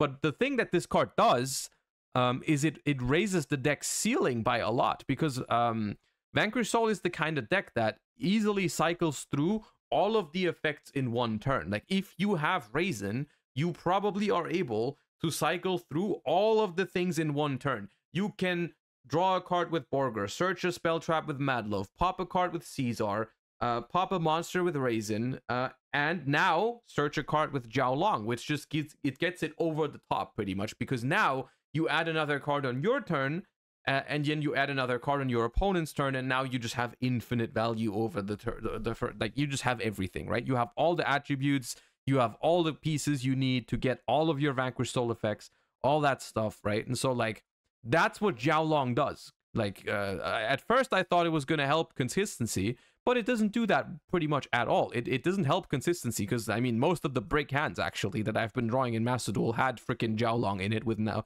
no way to summon it, or even if I can summon it, I don't have two fires, right? So like, um, Jiao Long actually doesn't really help consistency all that much. It's pretty much more like a combo piece that gets the deck over the like over the threshold of actually being like you know the, the the full Vanquish Soul opener is now after this set is considered like you can consider it broken. Like if the if the full Vanquish Soul combo goes through, you have the Jiao Long in rotation, you get the new trap card. Like that's hard to break. Like that's a good opener now, right? So the thing that the deck still needs, in my opinion, is uh, like a little bit of a consistency piece, right? Just a little bit. Vanquish Soul is revealed for a card effect while he's in hand, can reveal a fire to change a monster's battle position, and can reveal two fires to search a Vanquish Soul card, and Snow Devil, a trap that can reveal one of each of Earth, Fire, and Dark in hand to apply effects in sequence. And this card is kind of like a sleeper. Like this card is not as flashy as Jiao Long, but it's also, I think, incredibly important for for Vanquish Soul because this is the one that in the normal Vanquish Soul end board, this card is what makes it unbreakable. This card is insane. The fact that you have to play around them being able to blow up your board at any point is makes it really hard to play into this deck now. It's not as it's not as this card is much better than the Book of Moon thing that they had in the first set that they came out. Like this card is incredible. Uh, Jane OCG Meta, thank you for the five gift subs. Appreciate that. You've been supporting the channel a whole lot this year. Appreciate that so much. Thank you one last time in 2023. Appreciate you based on how many, with one or more burning the opponent for 400 and summoning a Vanquished Soul from hand, two or more burning for 600 and protecting a Vanquished Soul from effect destruction that turn, and three or more burning for 800 and destroying all monsters on the field. This would be a solid wave thanks to Xiaolong filling a very specific hole in the strategy by being the second good fire name, allowing Stake Your Soul to be a lot more live for the deck in addition to giving Razen a better target for its pop effect. Ken the Warrior Dragon and Gen the Diamond Tiger were TCG exclusives that could summon the other to the opponent's board, with each having an effect when summoned by the other, with Ken making the opponent draw two and discard one, and Gen discarding a card from your hand. But remember these will be summoned to the opponent's board, so these will be activating for your opponent, meaning in reality it'll make you draw two and discard one, or your opponent discard a card from their hand. These two nifty little guys do a lot more than they say on the tin, being enabler for decks like Dark World, or much more importantly for turning on triple tactics talents and thrust, as your opponent will have activated a monster effect and will currently control a monster, seeing a lot of hype on reveal for those applications. On to the one-offs. Arias the Labyrinth Builder can on a quick effect send itself from hand or field to grave to summon a labyrinth or set a normal trap from hand, making the trap able to activate that turn, and when the Arias is cool. I like Arias. Opponent responds to a normal trap or labyrinth card can summon itself from grave, giving Labyrinth the option to effectively play on turn 0 when the opponent is going King Boohoo also thank you to 5, and King Sora, thank you for the gifts. I appreciate you guys. Thank you so much. first, but being limited to what was in the opening hand for options. Berfomet, the mythical king of phantom beasts, is a fusion of two different typed monsters between beasts, fiends, and illusions, whose name becomes the OG Chimera on field and in grave, can dump a beast, fiend, or illusion from deck to grave on fusion summon, and can banish itself from grave on the opponent's turn to summon a banished beast, fiend, or illusion, being a solid one of in the already popular branded Chimera build. Super Star Slayer Typhon Sky Crisis is a rank 12 that can overlay onto your strongest I love Typhon, dude. I love Typhon. Once again, continuing the trend of me liking extra deck monsters that give you more utility going second. I think this kind of stuff is incredibly important for the modern game because it's one way, it's one way to fix the going first problem. Because like board breakers like Talons or Thrust or Dark Ruler or Droplet or whatever, they can only do so much. And the same is true for hand traps because at the end of the day, you have to draw those cards, right? And I mean, of course, you will draw them sometimes, and they do help against combo decks, no question. Um, but having cards like this from the extra deck that are powerful going second uh, is is really one of the best ways to counteract um, broken combo decks going first style type because you don't have to draw a Typhon uh you don't have to like you don't have to draw the option to go into a zeus de- depending on what situation you're in right? Those kind of things um they're always going to be accessible to you unless you're playing a deck that locks themselves out of it but that's also part of the balancing of your deck right? If your deck locks itself out of making uh, few, uh xyz or anything like that you know part of the balancing aspect of the game. But like in general not having to get lucky and draw a card like this is I think it's great. I think it's um I think Typhon is a phenomenally designed card because the drawback on this card is massive. Like this card is not unbalanced in the slightest. This card is completely fine in my opinion. Um, I, the the card is is basically once you summon this thing, your turn ends, right? Which it, it means it's something you have to use very carefully um and and it's not always live even you know some decks play around it sometimes by not summoning from the extra deck twice but i think that's also fine you know like if someone wants to play around typhon by not summoning from the extra deck even twice then you know fine in my book as well you know like healthy healthy gameplay has been achieved i would say you know so like fine as well. I, th- I think this card is, is is great. I, I love this card. Probably my probably one of my favorite card designs from the year um overall in terms of in terms of just game design and balancing around it monster the turn or turn after the opponent summons two or more monsters, locks you from summoning the remainder of the turn, locks the effects of monsters with 3000 or more attack, and can detach a material to bounce a monster from field to hand, being very clearly set up as the anti-Zeus, able to come down and completely counter the popular board wiping threat. Infernal Banshee is a rank 4 that can detach one to either search or bin a pyro from deck, and is able to summon itself if banished while you control a pyro, gaining attack equal to the number of your banished monsters times 100, being a generic rank 4 pyro searcher or dumper for various strategies. Exceed the Pendulum is a rank 3 requiring a pendulum monster that gains 100 attack for every pendulum Wedge, you control, wedge, can add a wedge, pendulum wedge, basic wedge, wedge. hand on link summon, and can special summon a pendulum from hand or grave whose level is between your pendulum scales once per turn in the main phase on a quick effect, being a critical extension piece for pendulum strategy similar to its previous iteration of Beyond the Pendulum. Angelica's Angelic Ring can only be equipped to a monster that already has an equipped card. Negates this card makes me furious the effects of the first spell the opponent uses. Freaking Ohime chain to a spell card to uh, to equip this, and then you know I hate that.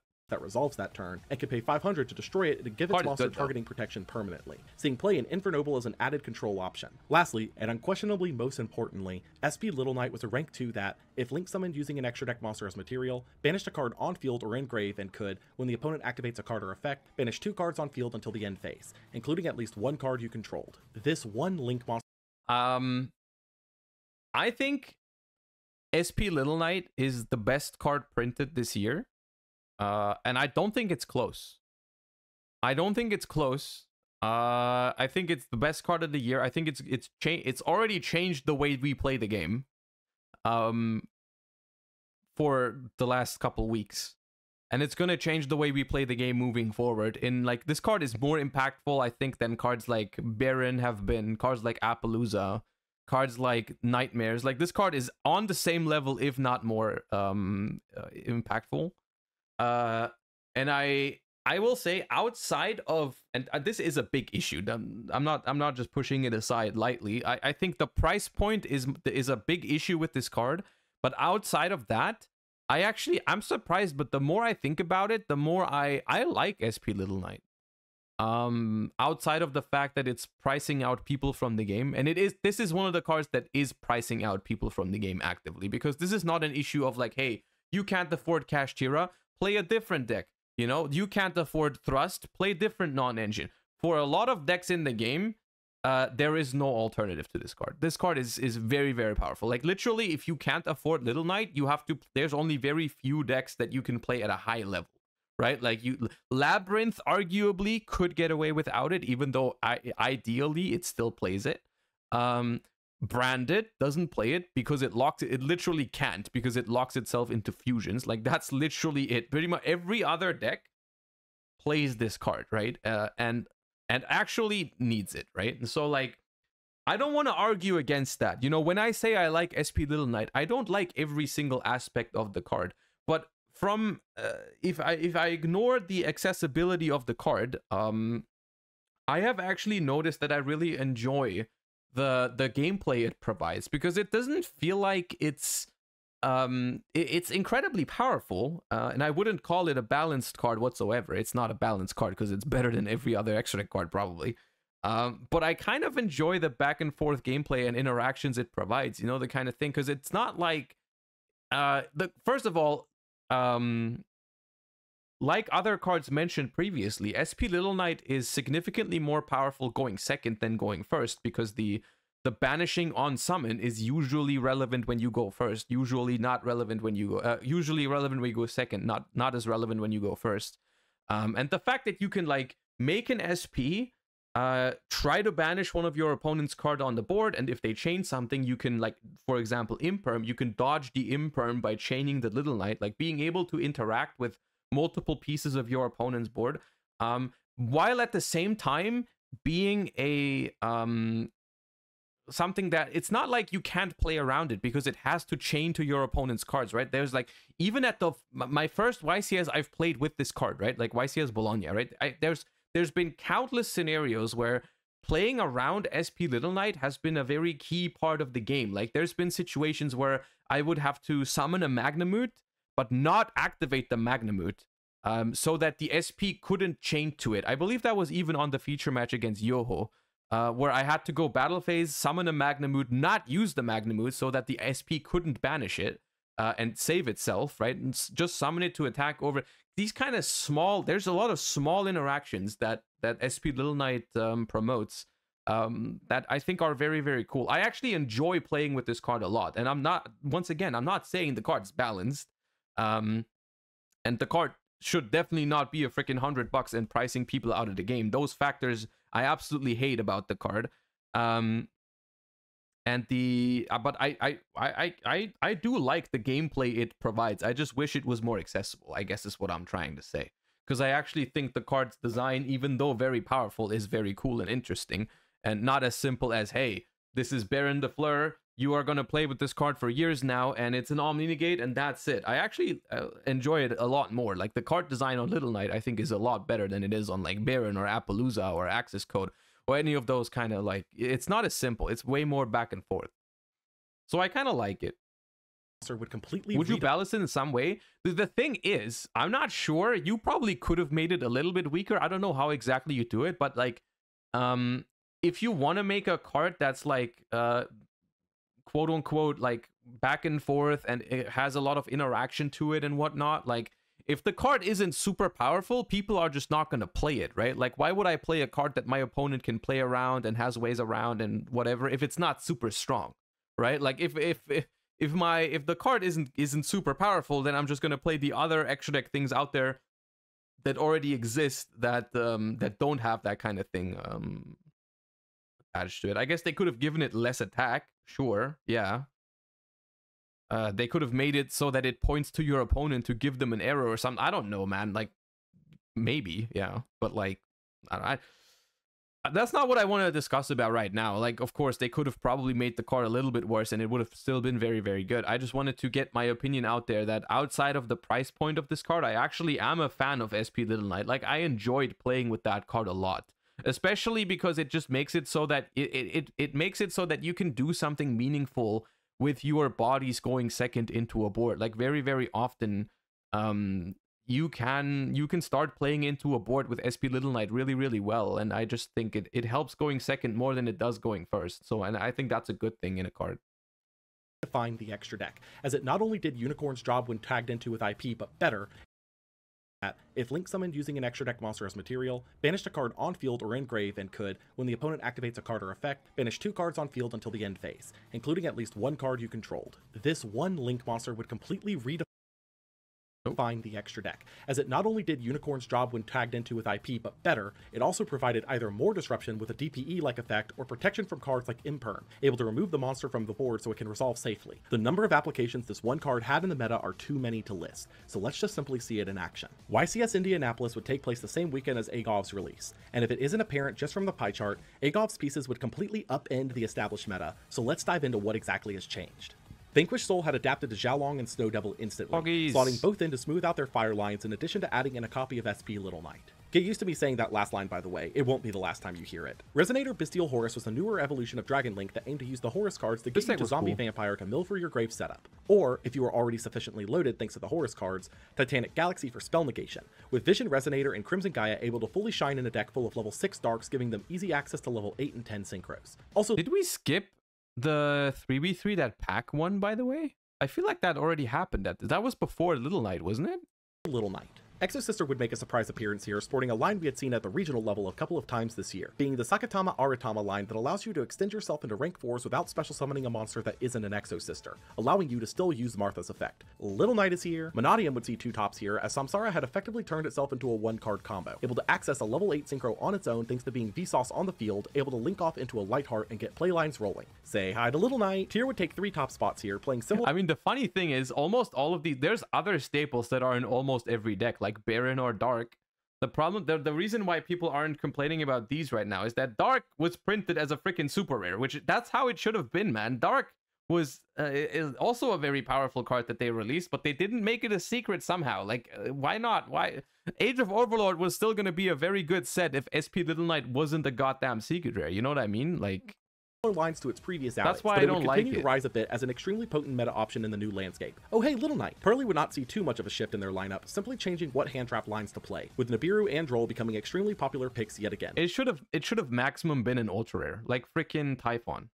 Uh, it, it was gonna be worth more than Typhon, uh, so it still would have been an expensive card, and the set would have still been incredibly good. Like Age of Overlord did not need SP to to be a secret rare to be a good set. The puppy loves Little Knight. Rescue Ace would be unquestionably the biggest winner of the new set release, taking 12 So top like spots the, the thing is, wanted being expensive is the one thing, right? Because there are other decks that don't need wanted, but it's very hard to find a deck that doesn't need Little Knight. That's why I have I have a much bigger issue with Little Knight being expensive than um than wanted being expensive. Uh, I think it just generally they should try to make very very broad uh like cards that almost everyone is gonna need. Uh, they should try to make those less expensive. Or First less place piloted by. Steven Santoli, seeing a massive spike in playability thanks to Diabell Star. As now, wanted and any other card in your opening can get you to Hydrant, who can search Airlifter, who can search Emergency, which can pop the Airlifter to summon Turbulence, and set four Rescue Ace spell traps with Hydrant on field for their bonus effects. This would completely revolutionize the deck's lines by giving them reliable access to not only Hydrant on turn 1, but also Turbulence set 4 on the first turn, positioning the deck as an incredibly powerful threat. Also, this time there's two Little Knight. With the meta revitalized, Little Knight was without a doubt the star of the show, spiking in price to over $100 by the end of the weekend and would be the new benchmark for extra deck staples moving forward. But let's be completely fair, though he didn't make the top cut here, we all know who and what we remembered from this specific event. Another Oh leg. yeah, right. One more piece. The crowd is chanting. One more piece. This is clean. This is very clean. We got the other arm. And all five pieces have been assembled. The leg, the arms, the head. Exodia obliterate. Unbelievable. Wow, the crowd goes insane.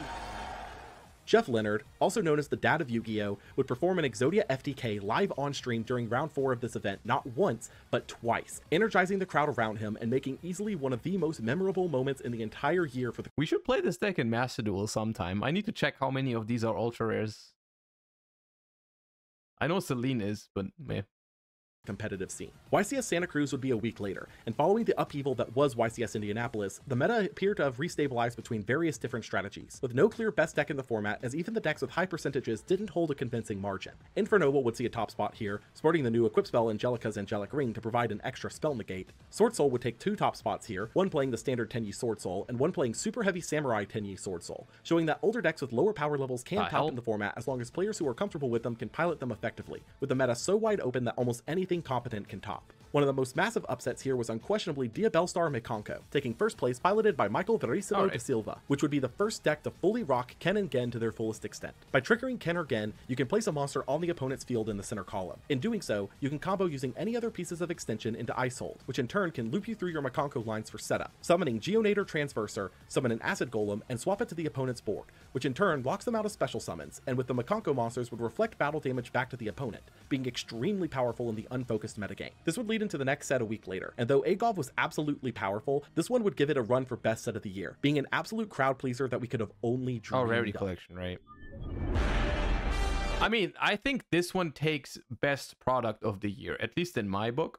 I think Age of Overlord is most impactful product of the. I think is a is an easy way to to phrase it because this didn't introduce any new cards. This is just reprints, accessibility. Like this, I think this is the best the best product of the year overall. Um, Age of Overlord, of course, more impactful. Okay, why is this so loud? Holy. Rarity Collection. Release date November 2nd, 2023. Set type reprint set. Major strategies staples. Impact the bottom out of the staple market. Rarity Collection was a first of its kind set, bringing reprints of 79 of the most popular cards in the game, two of which got both regular and alt art printings, in seven different rarities each, ranging from the low rarity of Super all the way up to the max rarity of Quarter Century Secret Rare. Because every card was printed in every rarity, the secondary market was flooded with all of these staples, making some variants extremely cheap to obtain while others being pricier. As of the nature of this set was reprinting meta staples, it would be next to impossible for me to read off all of the major reprints here without going on for a long time. So here are a couple of highlights. I did open the TCG version of the Rarity Collection, but sadly the card quality is so bad for some reason. Is it? I haven't noticed that at all. I, I all the cards I got from it were fine. Um, but I don't. Maybe maybe you got unlucky, but I'm not sure. I guess uh, if you are if you're from the OCG, I, I guess they might still be worse than than what you guys have. I know I know your guys' rarities might still look a lot better. Like you know maybe you're maybe you're just comparing it to uh, to the OCG cards, which you know they, they're probably better. You know.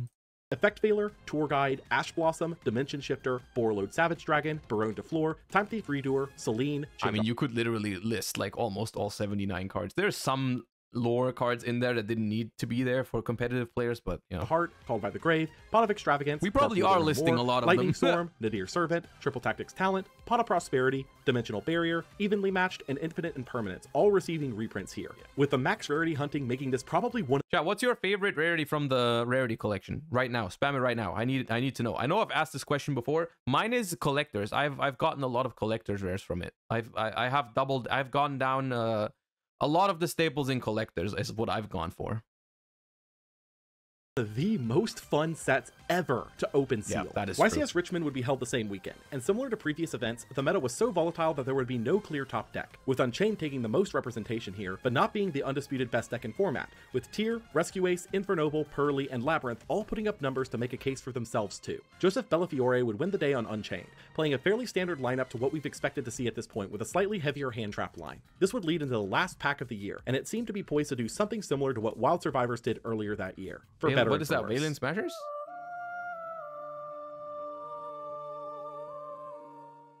Valiant Smashers. Release date November 17th, 2023. Set type deck building set. Major strategies Memento, Centurion, Valmonica. Impact the Vanquish Soul treatment. Valiant Smashers was the last pack of the year, and though it was Kind of, right? Kind of the Vanquish Soul treatment. Not quite there though. Not quite. It's it, it, I think what they did with Valiant Smashers is uh, quite similar to Wild Survivors because they realized, okay, one of these three archetypes is better than the other two.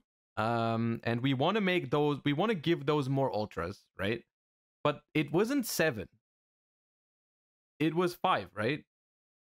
It was five ultras, which is still bad, but it was less bad than uh than what they did with Vanquish Soul. It still wasn't a good set because the other to two bring were us just another so solid bad, archetype right? in Centurion. The other two archetypes felt absolutely abysmal. Please read the pinned comment. I made a massive mess up with this set's coverage. Uh, my info on Valiant Smash was a bit off, specifically in terms of memento. Bup, bup, bup. This resulted in not only non-updated text, but also me missing that the strategy had three ultra rares in the set, not zero. Okay, noted. On release that it was clear this particular set was not going to be well received. The first of these was Memento, a series of retrains of various DM era vanilla monsters focused on popping their own cards to access other mementos. With Tatsunu's Toshigo able to summon itself from hand while you only control mementos, can pop a memento you control to dump mementos from deck to grave whose total levels equal the one you popped, Darkblade able to discard a memento on summon to pop an opponent's spell trap and able to destroy a memento you control to summon a level 3 or lower memento from deck, Anguish able to search a memento on summon and can pop a memento to revive a level 2 or lower memento in grave, Mace who can discard itself if you control a combined creation to take an opponent's monster until the end phase, and while on field can pop a memento to search a memento card, Goblin who can discard itself if you control combined creation to give mementos effect targeting protection, and while on field can pop a memento to dump up the two different mementos from deck, and their payoffs, being Memento Land Horn Dragon, who can summon itself from hand if you have three or more different memento monsters in grave, and when popped on field can pop three other cards on field, including a memento you control, and combined creation, who can only be summoned by returning five other memento This one was ultra rare, right? And then it was Bone Party or hand whatever. or grave to deck or And then one deck. more. Can attack all monsters once if it's the only monster you control, and if the opponent activates a card or effect, can summon a memento from hand or grave once per turn. For spell traps, they receive Memento Mitkalon, a field spell that stuns back row when a memento battles, summons a memento from hand or grave with a lower level than one destroyed, and can reset a memento spell trap in the end phase. Bone Party, a quick play spell that pops a memento on field or in hand to search Please or summon one with a the different name, shadows, okay. Be banished from grave to give a memento piercing that turn. Bone Back, a quick play spell that can, when the opponent removes a memento Oh, from the field, Witch was also summon a ultra, combined okay. creation from hand or deck, ignoring its summoning conditions, and can banish itself from grave if the opponent moves a memento out of grave to summon as many different mementos as possible from hand or deck. Fracture Dance, a trap that can pop a card on field if you control a memento, and another if you control combined creation, and if a memento battles an opponent's monster, can be banished from grave to drop all opponent's monsters by 1000 attack. And Cranium Burst, a continuous trap that forces the opponent to only attack the strongest memento on field and can drop a combined creation's attack and defense by 1000 each to destroy and negate a monster who activates its effect on field once per chain. While the deck had an extremely capable combo line and setup it could do, the payoff just wasn't there, leaving this as one of two archetypes Memento is one of those archetypes where it's really up in the air. Right now, it's not playable. Um, and it's really up to Konami, I suppose, if they want to make it good or not, because they could. Like the cards have the potential on there. Like if they if they make good Memento support, you can. You know, you can make it good. We will see. You know, I mean, I'm, just. I mean, we've just talked about it. Like uh, Purrely and uh, Rescue Ace and whatever. How these decks looked at first release. You know, like if they want to, they can make this stuff good. We'll see. completely forgotten on release. The other one of these was Valmonica, a duo of pendulum monsters that share an effect Kind of similar to these, even though I would say Valmonica is probably the worst out of the three. Um, but once again, if they make custom cards for this archetype, then who knows what's gonna happen. To, while in hand, discard another card to set both themselves and their counterpart from deck into the scales. Can banish a Valmonica But I have- I have less it, faith with in life point gain effect in the case of Angelo and the damage effect in the case of Demono, both gaining counters and scale when you control the other scale and either gain life or take damage, and each had one other scale effect. With Angelo, link summoning a Valmonica link using monsters you control when the opponent attacks, and Demono dropping the opponent's monster's attack by 100 for each counter on herself. Their links were Duralume, a link one that can only be summoned if you have three or more counters on Angelo, can destroy opponent's monsters on summon up to the number of counters in your scales, and can remove three counters from your scales to attack three times that battle phase. And Zabufra, a link one that can only be summoned if you have three or more counters on Demono, can remove three counters from your scales to protect cards from destruction, and can apply a Valmonica spell trap effect from grave on the opponent's turn on a quick effect. Their spell trap line includes Agathocacological Voice, a field spell that searches a Valmonica monster on activation and steals an opponent's monster if one of your scales hits three counters. Skelta, That sounded demonic on two times speed. which either gains 500 life to place a card in hand on bottom of deck to draw two, or takes 500 to search a different Valmonica spell trap. Versare, which either gains 500 life to excavate until you hit a Valmonica card to add to hand, or deals 500 to dump a Valmonica card from deck to grave. Intonare, which either gains 500 life to summon a monster from grave with the opponent's choice, or deals 500 to add a level 4 monster from grave to hand. Followed Rhythm, a trap that can either gain 500 to pop a spell trap, or take 500 to bounce a monster on field to hand, needing to control a Valmonica to activate, and able to do both if you control a Valmonica link. And Chosen Melody, which either gains 500 to give Valmonica's targeting protection from effects that turn, or takes 500 to negate a monster effect on field that turn. Needing to control a Valmonica to activate, and able to do both if you control a Valmonica link. To put it bluntly, Valmonica on their own were completely worthless, needing to be Okay, splashed with a strategy like Performage to even get off the ground. And even then, it's just link 1 and rank 4 spam with other strategies doing infinitely better in that regard, leaving the strat dead on arrival. The last archetype was Centurion, a series of monsters able to be turned into continuous traps that all share the effect to summon themselves once per turn if they're in the back row, with Primera being a tuner that protects high-level Centurions from card effect destruction while as a trap, and can search Uh, hear me out. Centurion is actually pretty cool. They need they need to do two things to make Centurion a cool and based and viable deck, right? They need to, uh, maybe three things. Uh, they the the most important thing is they need to ban King Calamity because this deck cannot be based while King Calamity exists. Um, the other thing is if they ban King Calamity, they need to give it another good level 12 to summon on the opponent's turn. Like Legacia, Legacia is is okay to summon on the opponent's turn. You know, draw a card, pop a card, fine, you know, okay. But like they need to give it uh they because the deck has the gimmick to sum synchro summon on the opponent's turn specifically, right? They kind of need a card that is specifically designed to be summoned on the opponent's turn. Because like with Legacia, it's kind of like the card is designed to be summoned to be good on both turns, right? Like if I summon it going first, I can draw a card. I get to set back in the end phase. You know, cool. Your card is good going first. If you summon it on your opponent's turn, you get to pop a card on top. Like, yeah, I get it. You know, the card is meant to be summoned on both turns and be good on both turns. Fine, but the effect is not good enough for on the opponent's turn, right? Like we need we need a Centurion Synchro that's meant to be summoned on the opponent's turn only, like only on the opponent's turn, right? Um, so that we replace the need to having to having to go Crimson Dragon into Calamity, right? Because ban Calamity and then go from there, right? Uh, and then the other thing that they would need is like a way to like because they have one line and one line only, right? And if the, if that one line gets disrupted, they pretty much can't really do anything. Um, and they would need a way around that. I don't know how you would do that. Like uh, I don't know, maybe just different line essentially. Like just give them a give them a freaking second second line of play that they can do, except of the standard combo that we have. Um, because they have a, they have actually very few cards. They only have very few cards. You're, you, we're almost using every single card off the archetype. You know they have exactly those three main deck monsters. Uh, exactly those spells. There's the only thing that we don't play is we don't play both trap cards for the deck, right? We play everything else. So like we need more. We need maybe a secondary tuner that we can summon out in some way, you know, whatever, right? Like uh, you know, this kind of stuff. a Centurion on summon, Trudea able to place itself in a Centurion from deck in the back row, locking itself from summoning for the rest of the turn, able to boost its level by 4 when summoned from the back row by its own effect, Emeth the Sixth, able to bump a Centurion from the front line to the back row to summon itself from hand or grave, and Legacia, a level 12 synchro that gives battle protection to 2k or lower attack monsters, draws a card on summon, can destroy the highest attack opponent's monster. Because I actually think Centurion itself is really, really cool. I really enjoyed it when I played it as well. Like uh, we, we've tested it on stream. I thought it was a really cool deck. Um, I just wish it had a little bit more lines instead of just one, and it didn't. It wasn't just Calamity Turbo essentially. and in the end phase, places a non-synchro Centurion from hand or grave into the back row. Their spell trap line includes Stand Up, a field spell that protects itself while you control a Centurion, can send a card from hand to grave the turn it's activated, Also, I have uh, I have uh, collector's rare stand up, so I would appreciate if they would make it good even after banning Calamity. Thank you. To place a Centurion from deck in the back row, and let you quick synchro summon after summoning a monster using at least one Centurion monster. Emblema Oath, which either places a Centurion from deck in the back row or sets a Centurion spell trap from deck. Bonds, which places a Centurion from hand or grave into the back row and can banish itself from grave when a Centurion synchro is summoned to place a Centurion from grave in the back row. Phalanx, which banishes a monster on field until the standby phase of the next turn and can banish itself from grave to summon a Centurion synchro from grave, but drops its attack by 1500. And True Awakening, an Omni Negate counter trap that sends monsters from the back row to grave for cost. Needless to say, this was the strategy among the three that held potential, being adept at swarming the board repeatedly for synchro 8 and 12 pushes that recurred their pieces regularly to do it again the next turn, seeing some experimentation on release. The issue lied in, once again, Konami printed most of the deck's good pieces in the ultra rare slot Uh, the giveaway is over. Yeah, we're. I'm, I'm gonna announce the winners on the Discord though. If you weren't here, you're not gonna miss it. which completely shafted the rest of the archetypes, with five of the seven slots going to Centurion, two going to Valmonica, and none going to Memento, being the most overly blatant up rarity scaling done since earlier this year when they Okay, did yeah, th- this is not this is not entirely correct. It's, it was three Memento Ultras, two Valmonica Ultras, and five Centurion Ultras, which is um better than what they did with Vanquish Soul, but it was still a bad set because you know, I mean, it's just not good if only one of the three archetypes is good. to Vanquish Soul. Though this was the last pack of 2023, it was not the last set release, as we still had one more structure deck to hit the masses, and it was aimed at giving one last shakeup to finish the year off with a bang.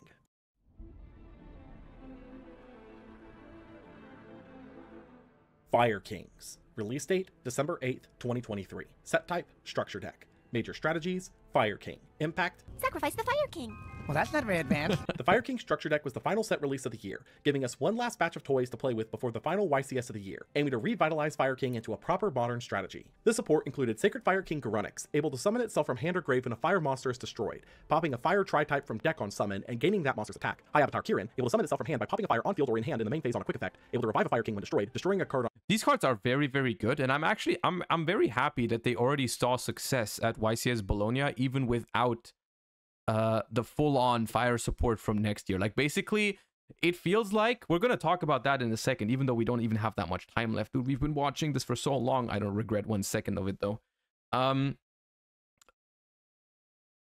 in 2024, it feels like a lot of these fire decks are gonna be they are still Fire King, Rescue Ace, whatever you want to call it, but I feel like they lose a little bit of their identity because a lot of it is just the Snake Eye combo and then it's just whatever you do on the side. Maybe that's just my first impression of it because I actually haven't played it yet. And they, they could still very well be fun to play and all that, but it feels like a lot of them are Snake Eye decks with a slightly other side engine and they are only labeled as Fire King rescue ace in the overall deck breakdowns right? But it's mostly um it's mostly snake eye decks really with different in different shades you know what i mean? Um i'm happy that fire king was able to hold up its own as its own deck. Like it was actually its own deck at ycs bologna right? They used the diabellstar cards as an engine as, as a way to get to the fire king cards but like it was still a fire king deck right? Um and so and the cards are really good so i was i was i was happy to see that they were able to perform like that on field when you do. Ring because it got like four top spots in in Bologna, which is not bad. Like that's actually that's respectable. able to summon itself from hand when a face-up Fire King is destroyed, able to destroy another fire on field or in hand to negate a spell or trap effect. Ponix, able to summon itself from hand if a fire is destroyed, able to search a Fire King spell trap on summon, returning itself to hand the standby phase after it's destroyed. Sanctuary, a continuous spell able to activate Island from deck on activation, can pop a fire monster to protect your field spell from destruction, and when the opponent special summons a monster, can exceed summon a Fire Exceed using Fire Kings you control. Skyburn, a quick play spell able to pop an equal number of Fire Kings you control and cards the opponent controls, able to banish itself from grave to prevent a Fire Pretty much all of these cards up until here are really really good for the deck. Fire King from being destroyed by card effect, and their new Exceed Grunix Eternity. And a that rank too. 7 that nukes all monsters on summon, can detach a material to pop a spell trap on field, boosting by 500 attack when it does, and when destroyed while it has material, summons that many Fire Kings from grave. This wave of support would bring Fire King into the modern era successfully, with Ponix specifically being an insane one card starter for the strategy, able to set up the deck to end on Island, Sanctuary, and two level 7s to make Grunix Eternity on the opponent's turn when they special summon. Because of Ponix alone being a full combo for the deck, players would experiment with various other engines to go with it, from Tri Brigade thanks to the Fire Tri-type synergy with Sacred Garunix able to pop a kid in deck, Dogmatika since the Deer Servant could get you to Ponix plus floor interaction thanks to Garura, Maximus, Shureg, and Titaniklad, and most importantly, Diabellstar being able to summon Ponix through Sinful Spoil's Snake Eye, or instead potentially summoning Snake Eye Ash to search Ponix for a full board setup that could realistically end on 4 plus interaction points. YCS Bologna would be held the same weekend, Ooh. being the last YCS of the year, and from it, we'd see even more decks enter the field of viable decks, shifting the top cut distribution even more with now 7 different decks taking at least 4 top spots and 17 different decks making top cut in total. Kashtira would make a crack into top cut here, playing a pseudo stun game with a heavier focus on Shangri-Ira and another Kashtira to lock up the board and stun out opponents' options, similarly to what they were doing pre Arise-Heart. Centurion would take four top spots here with three different variants, being a Horus variant providing additional level 8 bodies for easy level 12 synchro access, Bystials giving variety to the lines with level 10 access and grave control, and even the super heavy Samurai variant for quick and easy starting lines in Wakaushi. Fire King would take four top spots on its first outing as well, with all four playing the Diabellstar engine as an additional way into Ponix to start your lines, with one player adding in the Snake Eye pieces for the Amblo Whale setup line. Joshua Schmidt would take the event on a deck no one was expecting, being Bystial Runick, using Quem for access to Cartesia for synchro plays, Bystial. Luber as a searchable level 4 tuner, branded Regain for its interactions with S:P Little Knight, able to turn its temporary banish into a permanent one, and most uniquely Duality, which could access a variety of different options in the extra deck off of the various levels and attributes in the deck, such Who mega lol? Who mega lol? Yes, we get it. Imperm, Unicorn off Gary to lock the opponent out of the game, and Scarlight Red Dragon Archfiend off of Bystial Lubellion to burn for time. This win would also put Schmidt at four total YCS wins, placing him in spitting distance of the most YCS wins record at third place behind Kotton and LeBlanc's five. Bro, we're so close. And with that, 2023 in Yu-Gi-Oh would come to an end. Capping off an absolutely jam packed year full of variety and changes all around, being one of the most exciting years in the game's history overall. I'd like to take a minute right here at the end to thank everyone who's helped this channel grow over the past year, as this has also been one of the biggest years of growth in my channel's history too. For starters, a big Nice, shout out to everyone nice. I've collaborated with over the course of this year. Chaotic Meatball, Axe Mango, Sen, MBT, Scarlon, Golden Nova, We're Fiery staying for Dance, the shout-outs. Nim Nim, Jaxel, Skep, and Nash. You've all helped in your own ways, and I cannot thank you enough. A big shout out also to Nutuk and Fiery Dance for their wonderful art that's been used throughout my videos this year. It's brought a new sense of flair to my content this past year that I couldn't have done on my own.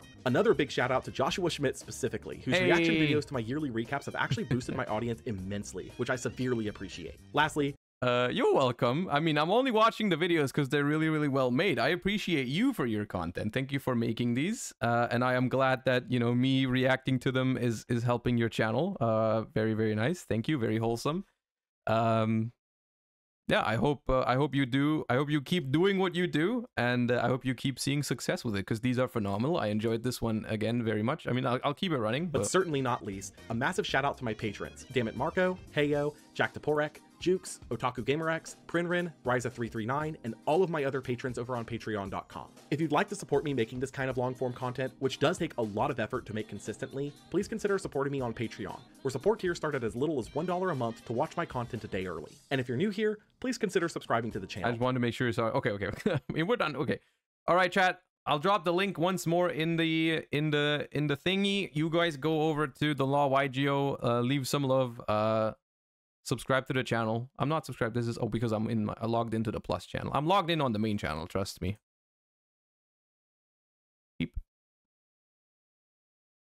See, subscribed, easy.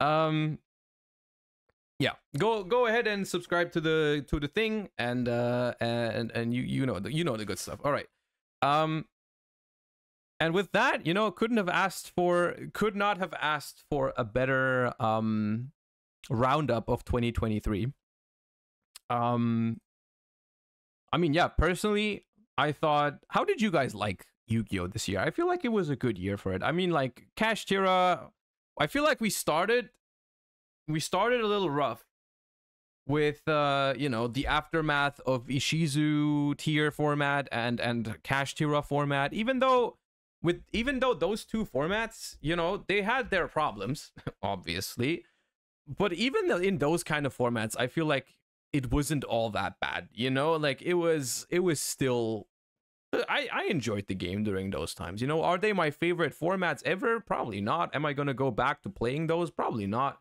but I I liked it overall. And then after I feel like after Arise-Heart got banned, it just got gradually better and better and better over time. Um I liked it. And that's all that's even just the TCG part. I also really enjoyed Master Duel. Um even though I mean freaking Roach is still here. Um I still really enjoy Master Duel. It gives me I, I still have a phenomenal time whenever I'm playing Master Duel on stream. It's like a, a great way to to stream the game. I enjoy it. You guys seem to enjoy it. You know, I like Master Duel. I also, you know, Master Duel Worlds was okay. Um, no, I've I've been having a blast this year in in in the TCG and Master uh, on Twitch. It's it's been great. Um, so yeah. You don't miss Kiklos. You're lying. I know that. I know you're lying. I know you're lying.